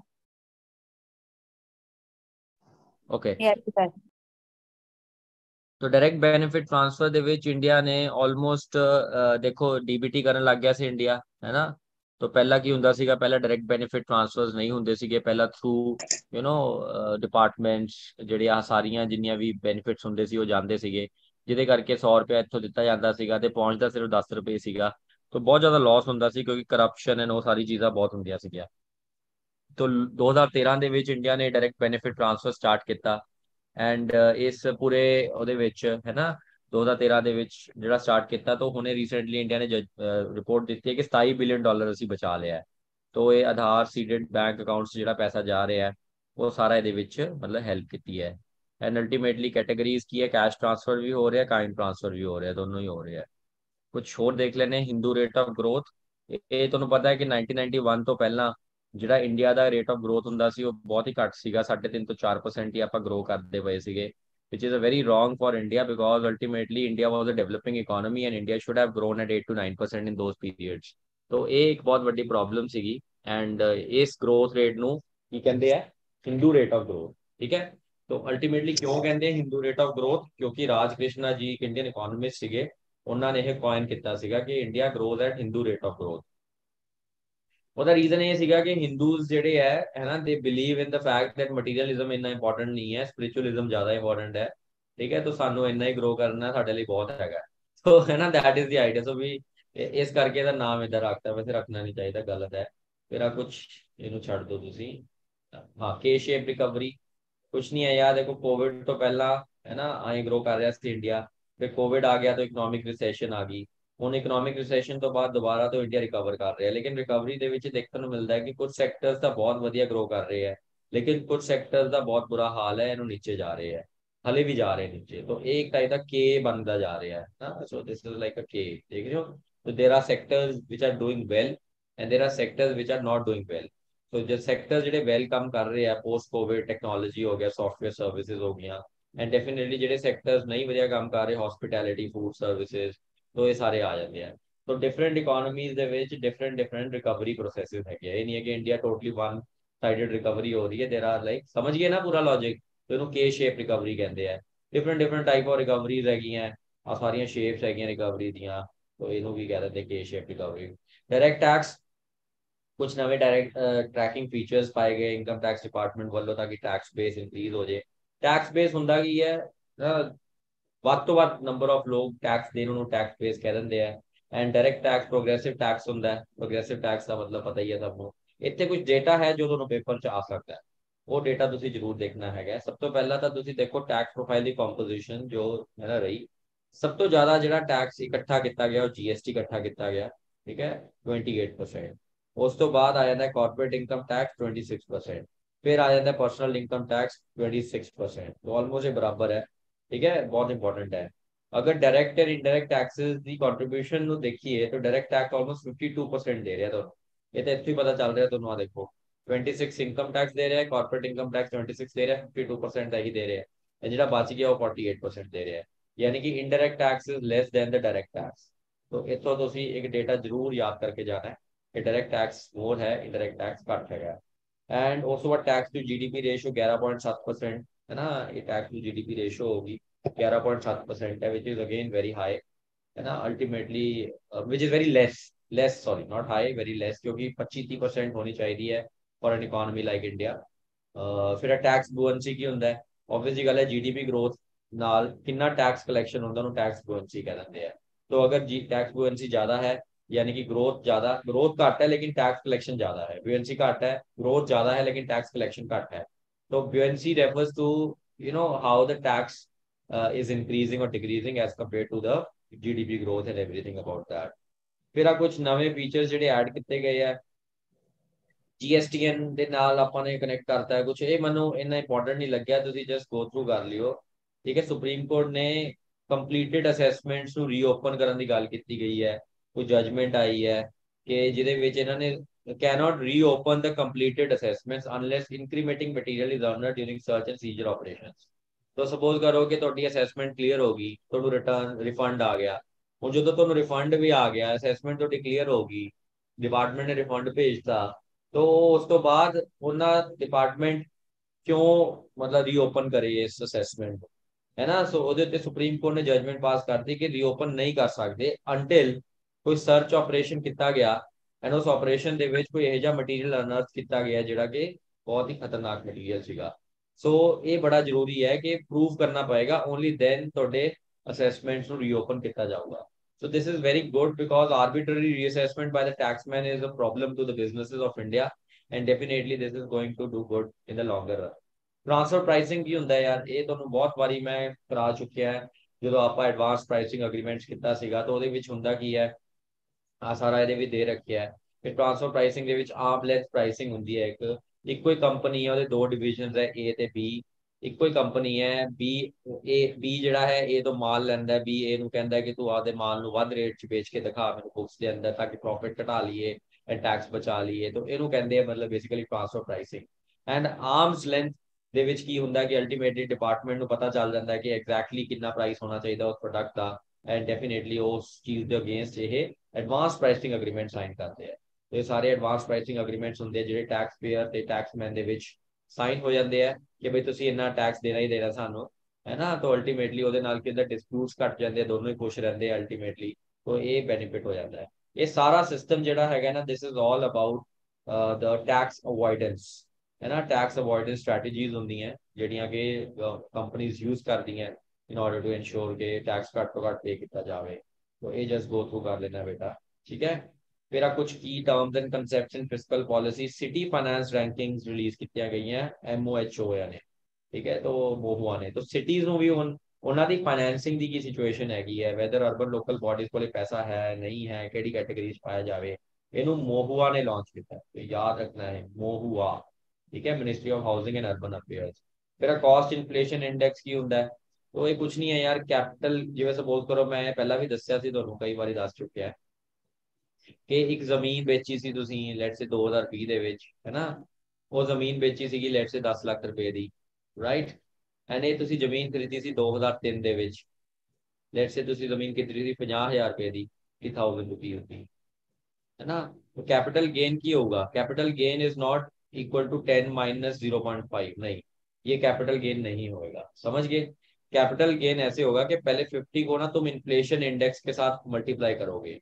ठीक है तो जो भी इन्फ्लेशन इंडेक्स होगा उसके साथ मल्टीप्लाई करोगे लेट्स इन्फ्लेशन इंडेक्स इज 10 ठीक है तो 50 विल बी मल्टीप्लाइड बाय 10 क्योंकि इन्फ्लेशन भी तो ਹੁੰਦੀ ਹੈ ਨਾ ਇਹਨਾਂ ਸਾਲਾਂ 'ਚ ਇਕੱਲਾ ਕੈਪੀਟਲ ਗੇਨ ਤਾਂ ਨਹੀਂ ਹੋਊਗਾ तो it will come out to be 5 lakh and ਮਤਲਬ ਐਟ ਪ੍ਰੈਜ਼ੈਂਟ ਇਨਫਲੇਸ਼ਨ ਨੂੰ ਕੰਸੀਡਰ ਕਰਕੇ ਉਸ ਪਾਰਟਿਕੂਲਰ ਐਸੈਟ ਦੀ ਵੈਲਿਊ 5 ਹੋਣੀ ਚਾਹੀਦੀ ਹੈ ਬਟ ਉਹ ਵਿਕਿਆ ਕਿੰਨੇ ਚ 10 ਦੇ ਵਿੱਚ ਯਾਨੀ ਕਿ 10 5 is equal to the capital gain तो 5 ਦੇ ਉੱਪਰ ਤੁਹਾਡਾ ਟੈਕਸ ਲੱਗੂਗਾ I hope it is clear to you ਸਮਝ ਆ ਰਿਹਾ ਸਭ ਨੂੰ ਹਾਂਜੀ बोलो भाई ये कैलकुलेशन समझ में आई यस सर श्रुति हम्म हाँ जी हाँ जी सर ਹੈ ਨਾ ਤਾਂ ਇਹ ਚੀਜ਼ ਹੁੰਦੀ ਹੈ ਬੇਸਿਕਲੀ ਤਾਂ ਇਹਦੇ ਵਿੱਚ ਆਹ ਇੰਡੈਕਸ ਇੰਡੈਕਸ ਹੋਇਆ ਇੰਡੈਕਸਿੰਗ ਹੁੰਦੀ ਹੈ तो इंडेक्सिंग ਜਿਹੜੀ ਹੈ ਇਹਦੇ ਵਿੱਚ ਦੇਖਣ ਨੂੰ ਮਿਲਦੀ ਹੈ चलो जी लेट्स गो फर्दर आगे चलते हैं हम ਮਾਰਕੀਟ ਇਨ ਕ੍ਰਿਪਟੋ ਐਸੈਟਸ ਤੋ ਯਾਰ ਯੂਰੋਪੀਅਨ ਪਾਰਲੀਮੈਂਟ ਨੇ ਲਾਅ ਪਾਸ ਕਰਤਾ, ਜਿੰਨੇ ਵੀ ਕ੍ਰਿਪਟੋ ਐਸੈਟਸ ਹੈ ਦੁਨੀਆ ਦੇ ਵਿੱਚ, ਮਤਲਬ ਯੂਰਪ ਦੇ ਵਿੱਚ, ਉਹਨਾਂ ਸਾਰਿਆਂ ਨੂੰ ਰੈਗੂਲੇਟ ਕਰਨ ਦਾ ਪ੍ਰੋਸੈਸ ਸ਼ੁਰੂ ਕਰਤਾ ਹੈ ਯੂਰੋਪੀਅਨ ਪਾਰਲੀਮੈਂਟ ਨੇ ਐਨ ਐਕਟ ਪਾਸ ਕੀਤਾ, ਜਿਹਦਾ ਨਾਮ ਹੈ markets in crypto asset legislation ਠੀਕ ਹੈ first set of regulations in the world ਜਿਹੜਾ crypto asset providers as well as consumer protection ਦੇ ਉੱਪਰ ਕੰਮ ਕਰੇਗਾ। ਬਹੁਤ ਹੀ ਜ਼ਿਆਦਾ ਇੰਪੋਰਟੈਂਟ ਐਸਾ ਰਹਾ ਸਾਰਾ ਇਹਦੇ ਵਿੱਚ ਚੀਜ਼ਾਂ ਦੇਖਣ ਨੂੰ ਮਿਲਦੀਆਂ ਹੈ ਠੀਕ ਹੈ। ਸੋ ਕ੍ਰਿਪਟੋ ਐਸੈਟਸ ਕੀ ਹੁੰਦੇ ਆ, ਇਹ ਸਭ ਨੂੰ ਪਤਾ ਹੀ ਹੈ what is crypto asset but please make sure ਇਹ ਐਨਐਫਟੀ ਸੇ ਨਹੀਂ ਲਾਗੂ ਹੋਏਗਾ, ਹਲੇ ਸਿਰਫ ਇਹ ਕ੍ਰਿਪਟੋ ਕਰੰਸੀ ਯਾਨੀ ਕਿ ਬਿਟਕੋਇਨਸ ਐਂਡ ਉਹ ਸਾਰੀ ਚੀਜ਼ਾਂ ਤੇ ਲਾਗੂ ਹੋਏਗਾ। ਦੋਨੋਂ ਕੁਐਸਚਨ ਸਿੰਪਲ ਪੇਪਰ ਚ ਆ ਸਕਦਾ ਹੈ ਕਿ ਮੀਕਾ ਇਹ ਰੀਸੈਂਟਲੀ ਪਾਸ ਕੀਤਾ ਗਿਆ ਕਿਨੇ ਪਾਸ ਕੀਤਾ? ਯੂਰੋਪੀਅਨ ਯੂਨੀਅਨ ਇਹ ਯਾਦ ਕਰ ਲਓ ਬਸ, ਹੈ ਨਾ? ਐਂਡ ਇਹਦਾ ਕੰਮ ਕੀ ਹੋਏਗਾ? ਕ੍ਰਿਪਟੋ ਐਸੈਟਸ ਦੀ ਰੈਗੂਲੇਸ਼ਨ ਕਰਨਾ। ਠੀਕ ਹੈ? ਸੋ ਕ੍ਰਿਪਟੋ ਐਸੈਟਸ ਦੀ ਰੈਗੂਲੇਸ਼ਨ ਕਰਨਾ। ਚਲੋ ਜੀ ਲੈਟਸ ਗੋ ਫਰਦਰ ਇੰਡੀਆ ਦੇ ਵਿੱਚ ਰੈਗੂਲੇਸ਼ਨ ਆਫ ਕ੍ਰਿਪਟੋ ਐਸੈਟਸ ਦੇ ਉੱਪਰ ਕੀ ਚੀਜ਼ ਹੈਗੀ ਹੈ? ਦੇਖੋ ਆਰਬੀਆਈ ਨੇ 2019 ਚ ਕਹਿਤਾ ਸੀਗਾ ਕਿ ਕ੍ਰਿਪਟੋ ਕੋਇਨਸ ਨੂੰ ਹੋਲਡ ਕਰਨਾ ਟ੍ਰੇਡ ਕਰਨਾ ਇਲੀਗਲ ਹੈ ਐਂਡ 10 ਲੱਖ ਤੱਕ ਦਾ ਫਾਈਨ ਲੱਗ ਸਕਦਾ ਹੈ। ਸੁਪਰੀਮ ਕੋਰਟ ਨੇ ਲੇਕਿਨ ਇਸ ਆਰਬੀਆਈ ਦੇ ਬੈਨ ਨੂੰ ਨਲੀਫਾਈ ਕਰਤਾ ਸੀਗਾ।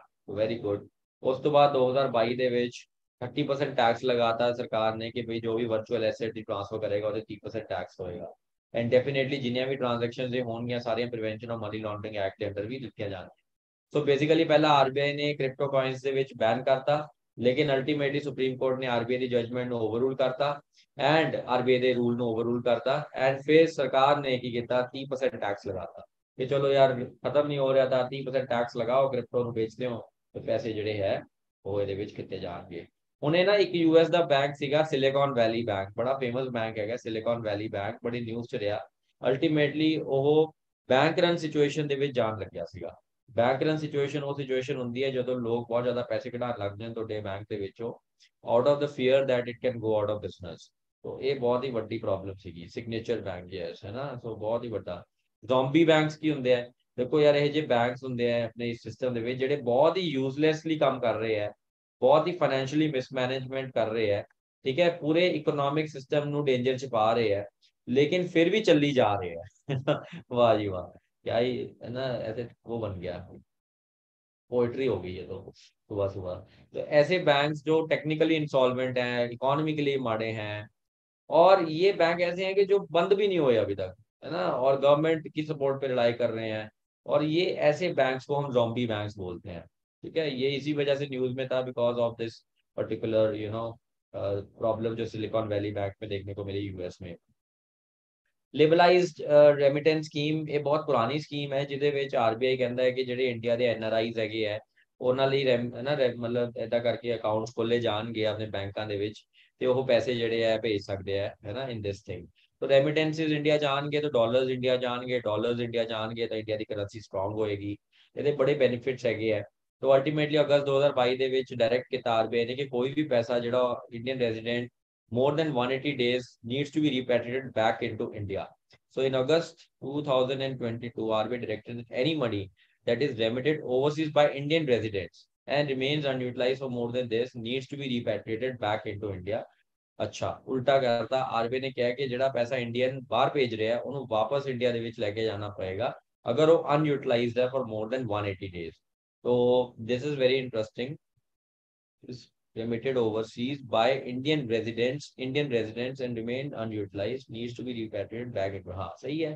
तो आरबीआई ने डायरेक्ट किया कि जो भी इंडिया का पैसा इंडिया का मनी बाहर रिपेट्रिएट किया जा रहा है। ठीक है? तो उसके उत्ते काम कितना है? सिक इन्फ्लेशन एवं इन्फ्लेशन होंगी है जी घटती हुई नहीं हैगी। Is taking longer than expected to fall तो आप कहते हैं यार इन्फ्लेशन बड़ी स्टिकी हो गई है। ये ना मतलब मतलब इन्ने स्टेप्स लैन तो बाद भी रिड्यूस नहीं हो रही। ठीक है? So this is the idea of it ये आ गए। पानी पैंती वेज हो गए ना अपने?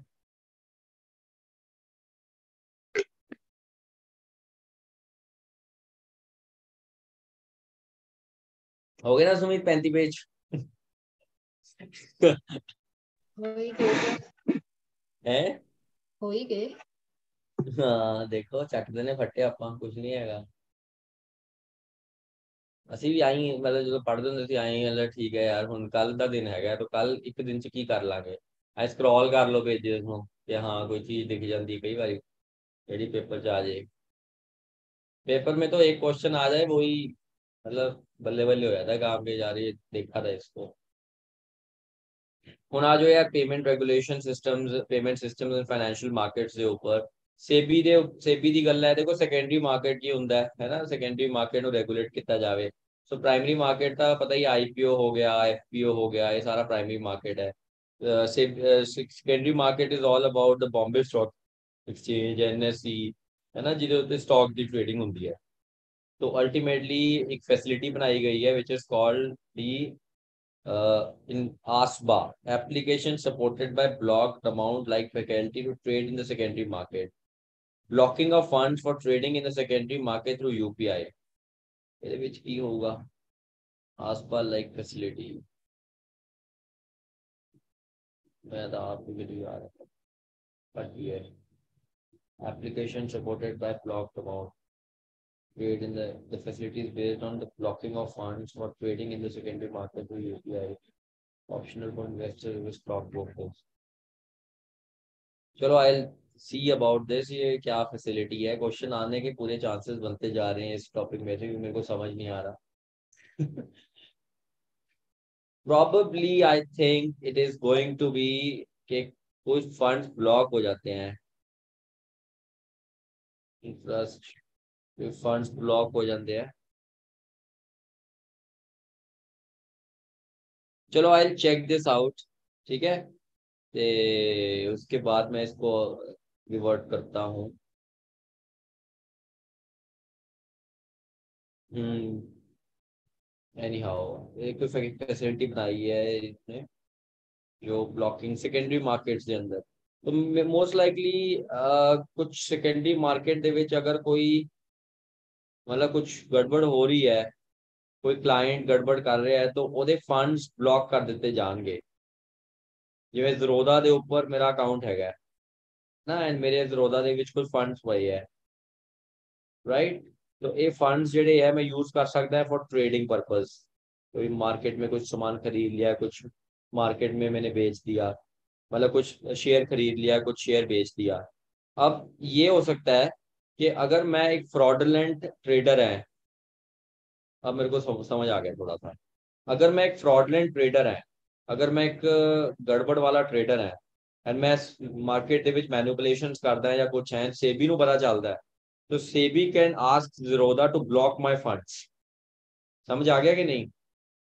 That is the idea of it ਠੀਕ ਹੈ so basically it is to ensure ਕਿ ਮੈਂ ਕੋਈ ਜਿਵੇਂ ਸ਼ਾਰਟ ਸੈਲਿੰਗ ਕਰਦੇ ਆ ਕੁਝ traders short selling is uh you know legal also illegal practice ਵੀ ਹੈਗੀ ਹੈ। ਜਿਹਦੇ ਵਿੱਚ ਕੀ ਕਰਦੇ ਆ ਅਲਟੀਮੇਟਲੀ ਮਾਰਕੀਟ ਨੂੰ ਪਹਿਲਾਂ ਉੱਪਰ ਲੈ ਕੇ ਚਲੇ ਜਾਂਦੇ ਆ, ਫਿਰ ਵੇਚ ਦਿੰਦੇ ਆ, ਫਿਰ ਗਿਰਾ ਦਿੰਦੇ ਆ ਇਦਾਂ ਦੇ ਕੰਮ ਕਰਦੇ ਆ। ਤੋ ਅਗਰ ਸੇਬੀ ਨੂੰ ਲੱਗਦਾ ਹੈ ਕਿ ਕੋਈ ਇਦਾਂ ਦੀ ਮਾਲ ਪ੍ਰੈਕਟਿਸ ਕਰ ਰਿਹਾ ਹੈ तो ਉਹਦੇ ਫੰਡਸ ਨੂੰ ਬਲੌਕ ਕੀਤਾ ਜਾ ਸਕਦਾ ਹੈ and definitely that is going to be one of the things so ਇਹ ਫੈਸਿਲਿਟੀ ਅੱਛੀ ਫੈਸਿਲਿਟੀ ਹੈ because ultimately ASBA is going to ensure ਕਿ fraudulent reporting and ਉਹ ਸਾਰੀ ਚੀਜ਼ਾਂ ਨਹੀਂ ਹੋਣ immediate unblocking of ਅਗਰ ਇਨ ਕੇਸ ਮੈਂਬਰ ਜਿਹੜਾ ਹੈਗਾ ਉਹ ਸਹੀ ਵੀ ਹੈ ਤਾਂ ਇਮੀਡੀਏਟ ਉਹਦੀ ਅਨਬਲੌਕਿੰਗ ਹੋ ਜਾਊਗੀ ਬਟ ਮੈਨੂੰ ਇਹ ਲੱਗਦਾ ਕਿ this is the out idea of this particular you know thing Secondary market ਮੈਂ ਦੱਸ ਹੀ ਦਿੱਤਾ what is uh secondary market primary market ਦੇ ਵਿੱਚ ਓਰੀਜਨਲ ਇਸ਼ੂਅਰ ਸਟਾਕਸ ਦਿੰਦਾ ਹੈ। ਇਨਵੈਸਟਰ ਉਹ ਸਟਾਕਸ ਨੂੰ ਖਰੀਦਦਾ ਹੈ। ਫਿਰ ਉਹ ਸਟਾਕਸ ਅੱਗੇ ਜਦੋਂ ਵੇਚਦਾ ਹੈ ਸਟਾਕ ਐਕਸਚੇਂਜਸ ਦੇ ਵਿੱਚ, ਉਹਨੂੰ ਸੈਕੰਡਰੀ ਮਾਰਕੀਟ ਕਹਿ ਦਿੰਦੇ ਆ। ਇਟ ਇਜ਼ ਜਸਟ ਲਾਈਕ ਕਿ ਪਹਿਲਾਂ ਤੁਸੀਂ ਕਾਰ ਖਰੀਦੀ, ਉਹ ਪ੍ਰਾਇਮਰੀ ਮਾਰਕੀਟ ਹੋਊਗੀ, ਜਦੋਂ ਕਾਰ ਦੇ ਜਿਹੜੇ ਪੈਸੇ ਆ, ਉਹ ਮਰੂਤੀ 'ਚ ਗਏ। ਉਸ ਤੋਂ ਬਾਅਦ ਕਾਰ ਜਦੋਂ ਸੈਕੰਡ ਹੈਂਡ ਵਿਕਦੀ ਹੈ ਜਾਂ ਥਰਡ ਹੈਂਡ ਵਿਕਦੀ ਹੈ, ਉਹ ਸਾਰੀ ਸੈਕੰਡਰੀ ਮਾਰਕੀਟ ਹੁੰਦੀ ਹੈ। So secondary market is the car which is being sold now in the market ਸਮਝ ਆ ਰਿਹਾ ਕਿ ਨਹੀਂ ਨਾ? तो जिवे सेकेंडरी मार्केट के तो पैसा ओरिजिनली कंपनी को जा रहा है तो जा रहे हैं तुम कार प्लीज़ परचेज कर रहे हो that is called the secondary market secondary market के उपर है ना कुछ कुछ चीज़ें हैं फिर आप ई एस जी ये environment social governance disclosure rating and investment E S G के उपर बहुत ज़्यादा फोकस है सेबी का एंड क्या जा रहा है कि कंपनीज़ शुड बी लाइक है ना ई एस जी सर्टिफाइड यानी कि कंपनी एनवायरमेंट लिए की करती है कंपनी के गवर्नेंस स्ट्रक्चर किए हैं कंपनी सोसायटी को किमें हेल्प करती है ਸੋ ਇੱਕ ਟਾਈਪ ਦਾ ਨਵਾਂ ਸੋਸ਼ਲ ਕੀ ਕਹਿੰਦੇ ਉਹਨੂੰ? ਗਵਰਨ ਕਾਰਪੋਰੇਟ ਗਵਰਨੈਂਸ ਇੱਕ ਟਾਈਪ ਦਾ ਨਵਾਂ ਕਾਰਪੋਰੇਟ ਗਵਰਨੈਂਸ ਮਾਡਲ ਹੈ ਜੋ ਸੇਬੀ ਪ੍ਰਮੋਟ ਕਰ ਰਿਹਾ ਹੈ ਇਨ ਦਿਸ ਆਈਡੀਆ ਫਿਰ ਆ ਇੰਡੈਕਸ ਪ੍ਰੋਵਾਈਡਰਸ ਲਈ ਕੋਈ ਰੈਗੂਲੇਟਰੀ ਫਰੇਮਵਰਕ ਆਇਆ ਸੋ ਇੰਡੈਕਸ ਪ੍ਰੋਵਾਈਡਰਸ ਜਿਹੜੇ ਹੁੰਦੇ ਆ, ਨਾ, ਉਹਨਾਂ ਲਈ ਕੋਈ ਰੈਗੂਲੇਟਰੀ ਫਰੇਮਵਰਕ ਲੈ ਕੇ ਆਏ। ਇੰਡੈਕਸ ਪ੍ਰੋਵਾਈਡਰ ਕੌਣ ਹੁੰਦਾ? ਇੱਕ ਸਪੈਸ਼ਲਾਈਜ਼ਡ ਫਰਮ ਹੁੰਦੀ ਹੈ, ਜਿਹੜੀ ਮਾਰਕੀਟ ਇੰਡੈਕਸਿਸ ਨੂੰ ਕੈਲਕੂਲੇਟ ਕਰਦੀ ਹੈ। ਜਿਵੇਂ ਇੰਡੀਆ ਦੇ ਵਿੱਚ NSE indices Asia index private limited ਆ ਜਾਂਦੇ ਆ। ਫਿਰ ਆ ਕੀ ਟਰਮਸ ਪੇਮੈਂਟ ਦੇ ਵਿੱਚ? ਯੂਪੀਆਈ ਟ੍ਰਾਂਜੈਕਸ਼ਨ ਦੇ ਉੱਪਰ ਇੰਟਰਚੇਂਜ ਇੰਟਰਚੇਂਜ ਫੀਸ ਲੱਗਣ ਦੇ ਤਦਾਰ ਵਧਦੇ ਜਾ ਰਹੇ ਆ। ਠੀਕ ਹੈ national payment corporation of India ਕਹਿ ਰਹੀ ਹੈ ਕਿ ਇੰਟਰਚੇਂਜ ਫੀਸ ਲਗਾਈ ਜਾਵੇ ਮਰਚੈਂਟ ਯੂਪੀਆਈ ਟ੍ਰਾਂਜੈਕਸ਼ਨਸ ਦੇ ਅੰਦਰ ਅਪ੍ਰੈਲ 1 2023 ਤੋਂ। ਤੋ ਇਹ ਬਹੁਤ ਹੀ ਡੇਂਜਰਸ ਹੋ ਜਾਊਗਾ ਅਲਟੀਮੇਟਲੀ ਇਹਦੇ ਤੇ ਰੌਲਾ ਪਾਈ ਜਾਂਦੇ ਲੋਕ। ਠੀਕ ਹੈ, ਤੋ interchange fee will not be applicable but ਇਹ bank to bank account base UPI payment peer to peer ਇਹਨਾਂ ਵਿੱਚ ਨਹੀਂ ਹੋਊਗੀ। ਵਾਲਾ ਜੋ ਆਪਾਂ ਕਰ ਰਹੇ ਉਹ ਨਹੀਂ ਹੋਊਗੀ, ਲੇਕਿਨ ਮਰਚੈਂਟ ਬੈਂਕ ਜਿਹੜਾ ਹੈਗਾ ਜਿਹੜਾ ਕਿਊ ਆਰ ਕੋਡ ਪ੍ਰੋਵਾਈਡਰ ਤੇ ਐਕਵਾਇਰਰ ਹੈ है ना? ओहो बेसिकली मतलब लगाना पड़ेगा। तो एक इंटरचेंज फ़ीस है। हर डर, हर पेमेंट डिजिटल ये आरबीआई का प्रोग्राम है। पचहत्तर विलेजेस पचहत्तर डिजिटल विलेजेस ये आ जाएँगे। ग्रीन डिपॉजिट्स तो ग्रीन डिपॉजिट ग्रीन का मतलब होता ग्रीन डिपॉजिट का मतलब डिपॉजिट तो इसमें यही होगा कि जो भी रेगुलेटेड एंटिटीज हैं मतलब बैंक्स हैं जो अगर वो कहते हैं कि आप हमारे बैंक में डिपॉजिट करो और वो डिपॉजिट का पैसा हम लोन ग्रीन फाइनेंस में देंगे तो ऐसे डिपॉजिट्स को ग्रीन डिपॉजिट बोलते हैं। सपोज़ एक एफडी बन जाए बैंक की तरफ़ से, जो ये बोले कि इस एफ़ का पैसा हम सिर्फ़ ग्रीन प्रोजेक्ट्स को देंगे, उसको ग्रीन डिपॉजिट बोलेंगे। तो जस्ट लाइक जैसे ग्रीन बॉन्ड्स है, जो कंपनीज़ लेके आती हैं, वैसे ही ये ग्रीन डिपॉजिट हो गए जो बैंक्स लेके आएँगे। फिर ग्रीन शू ऑप्शन ये ऑप्शन बेसिकली ये है कि ਕਈ ਵਾਰੀ ਨਾ ਆਪਾਂ ਓਵਰ ਅਲੋਟਮੈਂਟ ਕਰਦੇ ਨੇ। Sale over allotment of shares ਨੂੰ ਕਹਿੰਦੇ ਆ। ਠੀਕ ਹੈ? Over allotment of shares so additional shares during IPO suppose ਇੱਕ ਆਈਪੀਓ ਲਾਂਚ ਕੀਤਾ ਸੀਗਾ। ਉਹਦੇ ਵਿੱਚ 100 ਸ਼ੇਅਰ ਵੇਚਣੇ ਸੀਗੇ, ਲੇਕਿਨ 100 ਦੀ ਜਗ੍ਹਾ ਤੇ 120 ਸ਼ੇਅਰ ਵੇਚੇ ਗਏ ਤਾਂ ਉਹਨੂੰ ਗ੍ਰੀਨ ਸ਼ੂ ਆਪਸ਼ਨ ਕਹਿੰਦੇ ਕਈ ਵਾਰੀ ਆਈਪੀਓ ਬਹੁਤ ਹੀ ਜ਼ਿਆਦਾ ਚੱਲ ਜਾਂਦਾ ਹੈ। ਤਾਂ ਫਿਰ ਐਡੀਸ਼ਨਲ ਸ਼ੇਅਰਸ ਵੀ ਤੁਸੀਂ ਬਣਾ ਲੈਣੇ ਉਹਨੂੰ green shore green shoe option ਕਹਿ ਦਿੰਦੇ ਆ। ਸ਼ੋਰਿਟੀ ਬੌਂਡਸ ਸ਼ੋਰਿਟੀ ਬੌਂਡਸ ਦਾ ਪਤਾ ਹੀ ਹੈ ਯਾਰ ਕਿ ਇਹ ਬੌਂਡ ਹੁੰਦੇ ਆ, ਹੈ ਨਾ ਕਿ ਬਈ ਅਸੀਂ ਸ਼ੋਰਿਟੀ ਬੌਂਡ ਦਿੰਨੇ ਆ ਅਗਰ ਕੋਈ ਬਿਜ਼ਨਸ ਫੇਲ ਹੁੰਦਾ ਹੈ ਤਾਂ ਅਸੀਂ ਪ੍ਰੋਮਿਸ ਕਰਾਂਗੇ ਕਿ ਅਸੀਂ ਪੇਮੈਂਟ ਕਰਾਂਗੇ। ਸੋ ਇੱਕ ਸ਼ੋਰਿਟੀ ਬੌਂਡ ਬਿਜ਼ਨਸ ਹੋ ਜਾਂਦਾ ਚਾਈਨੀਜ਼ ਵਾਲ ਪਾਲਿਸੀ ਦੇਖੋ ਯਾਰ ਇਹਦੇ ਚਾਈਨਾ ਨਾਲ ਕੋਈ ਲੈਣਾ ਦੇਣਾ ਨਹੀਂ ਹੈ। ਠੀਕ ਹੈ? ਚਾਈਨੀਜ਼ ਵਾਲ ਪਾਲਿਸੀ ਬੇਸਿਕਲੀ ਕੀ ਹੈ? ਸਪੋਜ਼ ਕਰੋ ਇਨਸਾਈਡਰ ਟ੍ਰੇਡਿੰਗ ਸੁਣਿਆ ਤੁਸੀਂ ਇਨਸਾਈਡਰ ਟ੍ਰੇਡਿੰਗ ਨਾ ਇਨਸਾਈਡਰ ਟ੍ਰੇਡਿੰਗ ਹੁੰਦੀ ਹੈ। ਇਹਦੇ ਵਿੱਚ ਹੁੰਦਾ ਕੀ ਹੈ ਕਿ ਅਗਰ ਤੁਹਾਨੂੰ ਅੰਦਰਲੀ ਗੱਲਾਂ ਪਤਾ ਹੈਗੀਆਂ ਐਂਡ ਤੁਸੀਂ ਫਿਰ ਉਹ ਇਨਵੈਸਟਮੈਂਟ ਉਸ ਹਿਸਾਬ ਨਾਲ ਡਿਸਾਈਡ ਕਰ ਲੈਂਦੇ ਹੋ ਆਪਣੀ। ਉਹਨੂੰ ਇਨਸਾਈਡਰ ਟ੍ਰੇਡਿੰਗ ਕਹਿੰਦੇ ਆ ਜਿਹਨੂੰ ਅੰਦਰਲੀਆਂ ਗੱਲਾਂ ਪਤਾ ਹੈ ਐਂਡ ਜਿਹਨੂੰ ਅੰਦਰਲੀਆਂ ਗੱਲਾਂ ਨਹੀਂ ਪਤਾ ਹੈ ਉਹਦੇ ਵਿੱਚ ਜਿਹੜੀ ਵਾਲ ਹੈ उस चीज की पॉलिसी के ऊपर सेबी जरा काम करता है तो चाइनीज वॉल पॉलिसी ठीक है कि कैसे पता चले उन लोगों के बारे में जिनको पता है और उन लोगों के बारे में जिनको नहीं पता है तो ऐसी पॉलिसी कैसे आए क्योंकि insider trading is a very tricky thing है ना it's a very tricky thing that हमें नहीं समझ में आता कि ये बंदा एक्चुअली इनसाइडर ट्रेडर है या नहीं है फिर डब्बा ट्रेडिंग डब्बा ट्रेडिंग ਅਲਟੀਮੇਟਲੀ ਯਾਰ ਦੇਖੋ ਅੱਜ ਵੀ ਲੋਕ ਜ਼ੀਰੋਦਾ ਦੇ ਉੱਪਰ ਟ੍ਰੇਡਿੰਗ ਕਰ ਰਹੇ ਆ ਮੈਂ ਤਾਂ ਜ਼ੀਰੋਦਾ ਦੇ ਉੱਪਰ ਟ੍ਰੇਡਿੰਗ ਕਰਦਾ ਹਾਂ। ਇਦਾਂ ਹੀ ਹੋਰ ਵੀ ਇਦਾਂ ਦੀਆਂ ਐਪਸ ਬਣ ਚੁੱਕੀਆਂ ਜਿਹੜੀਆਂ ਕਿ ਆਨਲਾਈਨ ਟ੍ਰੇਡਿੰਗ ਚੱਲਦੀ ਹੈ ਲੇਕਿਨ ਅੱਜ ਵੀ ਬਹੁਤ ਇਦਾਂ ਦੇ ਟ੍ਰੇਡਰਸ ਹੈਗੇ ਜਿਹੜੇ ਆਨਲਾਈਨ ਟ੍ਰੇਡਿੰਗ ਨਹੀਂ ਵੀ ਕਰਦੇ ਤੇ ਹਲੇ ਵੀ ਫਿਜ਼ੀਕਲ ਫਾਰਮੈਟ 'ਚ ਹੀ ਟ੍ਰੇਡਿੰਗ ਕਰਦੇ ਆ ਇਦਾਂ ਦੇ ਲੋਕ ਜਿਹੜੇ ਹਲੇ ਵੀ ਫਿਜ਼ੀਕਲ ਫਾਰਮੈਟ 'ਚ ਹੀ ਟ੍ਰੇਡਿੰਗ ਕਰਦੇ ਆ ਇਹਨਾਂ ਨੂੰ ਆਪਾਂ ਡੱਬਾ ਟ੍ਰੇਡਿੰਗ ਕਹਿੰਦੇ ਨੇ। ਠੀਕ ਹੈ, so dabba trading refers to that idea short selling ਮੈਂ ਆਲਰੇਡੀ ਦੱਸ ਚੁੱਕਿਆ bets on a stock or asset in expectation that price will fall in the future.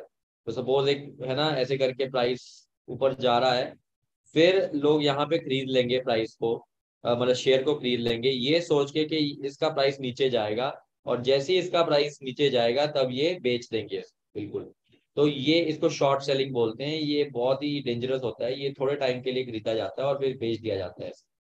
ठीक है? So that's called the short selling तो ये हो गया पूरा अभी भारत ने फॉरेन ट्रेड पॉलिसी नहीं ले आए हैं 2023 पुरानी जो पॉलिसी थी वो 2015 में आई थी 2015 से 20 में आई थी अब ये नई आ गई है इसमें इंपॉर्टेंट ये है आपके लिए चार्ट ठीक है तो ये चार्ट जरूर देखना है ਆਪਾਂ ਦੇਖ ਹੀ ਲੈਣੇ ਆ ਦੇਖੋ 2016 ਦੇ ਵਿੱਚ ਇੰਡੀਆ ਦੇ ਐਕਸਪੋਰਟਸ ਦੇਖੋ 435 ਬਿਲੀਅਨ ਡਾਲਰ ਸੀਗੇ 2023 ਦੇ ਵਿੱਚ ਇੰਡੀਆ ਦੇ ਐਕਸਪੋਰਟ 760 ਬਿਲੀਅਨ ਡਾਲਰਸ ਹੋ ਗਿਆ ਸੋ ਐਕਸਪੋਰਟ ਦੇ ਵਿੱਚ ਗਰੋਥ ਦੇਖਣ ਨੂੰ ਮਿਲ ਰਹੀ ਹੈ ਆਲਮੋਸਟ 760 ਬਿਲੀਅਨ ਡਾਲਰ ਦੀ ਆਪਾਂ ਐਕਸਪੋਰਟ ਕਰਨਾ ਸ਼ੁਰੂ ਕਰਤਾ ਹੈ ਟ੍ਰੇਡ ਬੈਲੈਂਸ ਦੀ ਅਗਰ ਆਪਾਂ ਗੱਲ ਕਰੀਏ ਤਾਂ 2022-23 ਦੇ ਵਿੱਚ ਓਵਰਆਲ ਟ੍ਰੇਡ ਡੈਫਿਸਿਟ ਇੰਡੀਆ ਦਾ 122 ਬਿਲੀਅਨ ਡਾਲਰ ਦਾ ਸੀਗਾ ਠੀਕ ਹੈ ਸੋ ਇਹ ਯਾਦ ਰੱਖਣਾ ਆਪਣੇ ਕੋ ਓਵਰਆਲ ਟ੍ਰੇਡ ਡੈਫਿਸਿਟ ਸਰਵਿਸਿਜ਼ ਦੇ ਵਿੱਚ ਆਪਣਾ ਟ੍ਰੇਡ ਸਰਪਲਸ ਸੀਗਾ 144 ਬਿਲੀਅਨ ਡਾਲਰ ਦਾ ਸਰਪਲਸ ਸੀਗਾ ਸਰਵਿਸਿਜ਼ ਦੇ ਵਿੱਚ ਲੇਕਿਨ ਗੁੱਡਸ ਦੇ ਵਿੱਚ ਆਪਣੇ ਕੋਲ ਡੈਫਿਸਿਟ ਸੀਗਾ 266 ਦਾ तो 266 ਮਾਈਨਸ 144 ਕਰੋਗੇ ਤਾਂ 122 ਆ ਜਾਊਗਾ यानी कि गुड्स के डेफिसिट है, ठीक है? एंड सरपलस है अपने को सर्विसिज तो अगर इंडिया के फॉरन पॉलिसी फॉरन ट्रेड देखो तो सर्विसिज हमेशा आप पॉजिटिव होंगे एंड ट्रेड के हमेशा नैगेटिव होंगे एंड पॉजिटिव तो नैगेटिव जो आप मतलब इक्वेट करते हैं तो अपने को सौ बई बिलियन डॉलर का ट्रेड डेफिसिट आ जाता है सर तो ये बिल्कुल ऐसे याद रखना है। अब ये भी देखना है कि टारगेट एक्सपोर्ट टारगेट क्या लगाया है? दो हज़ार तीस तक दो ट्रिलियन डॉलर यानी कि इतने अपने को कितना आ रहा है? सेवन सिक्सटी बिलियन ठीक है? एंड आपका कितना करना है? टू थाउज़ेंड मतलब बिलियन तो अल्टीमेटली दो ट्रिलियन डॉलर बन जूगा अगर आपने एक्सपोर्ट टारगेट अचीव कर लिया। सब तो ज़्यादा एक्सपोर्ट आप पेट्रोलियम कर दें फिर इलेक्ट्रॉनिक गुड्स कर दें हैं rice chemical and this and सब तो ज़्यादा इंपोर्टिंग नेशन यही है। एंड सब तो ज़्यादा एक्सपोर्टिंग नेशन यही है। तो ये याद रखने हैं सारे, है ना? बहुत ज़्यादा इंपॉर्टेंट है तो ये सारी ट्रेड पॉलिसीज़ आ जाती है। फिर उसके बाद trade facilitation and ease of doing business तो अभी इसके अंदर ट्रेड फैसिलिटेशन एंड ये सारी चीज़ें देख रहे हो। तो ये आप देख लेंगे सर तो बाकी देखेंगे, कल यहाँ से हम शुरू करेंगे 2023 3.5.2 39 पेजेस हम कंप्लीट कर चुके हैं। मैंने आपको वादा किया था, मैं 40 पेज आपको कंप्लीट करा दूँगा। तो वादा तो वादे तो हम बहुत करते हैं। ठीक है, ये हो गया चालीस। ठीक है मंजीत हाँ जी सर हो जाऊगा। थोड़ा थोड़ा आप भी कर लो यार। हम्म। कर लेंगे यार, ये तो तीन दिन में कंप्लीट कर देंगे आप।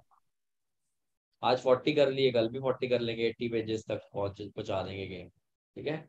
चलो thank you so much best of luck ऐसे टेंशन नहीं लेनी पढ़ाई की, बिल्कुल भी।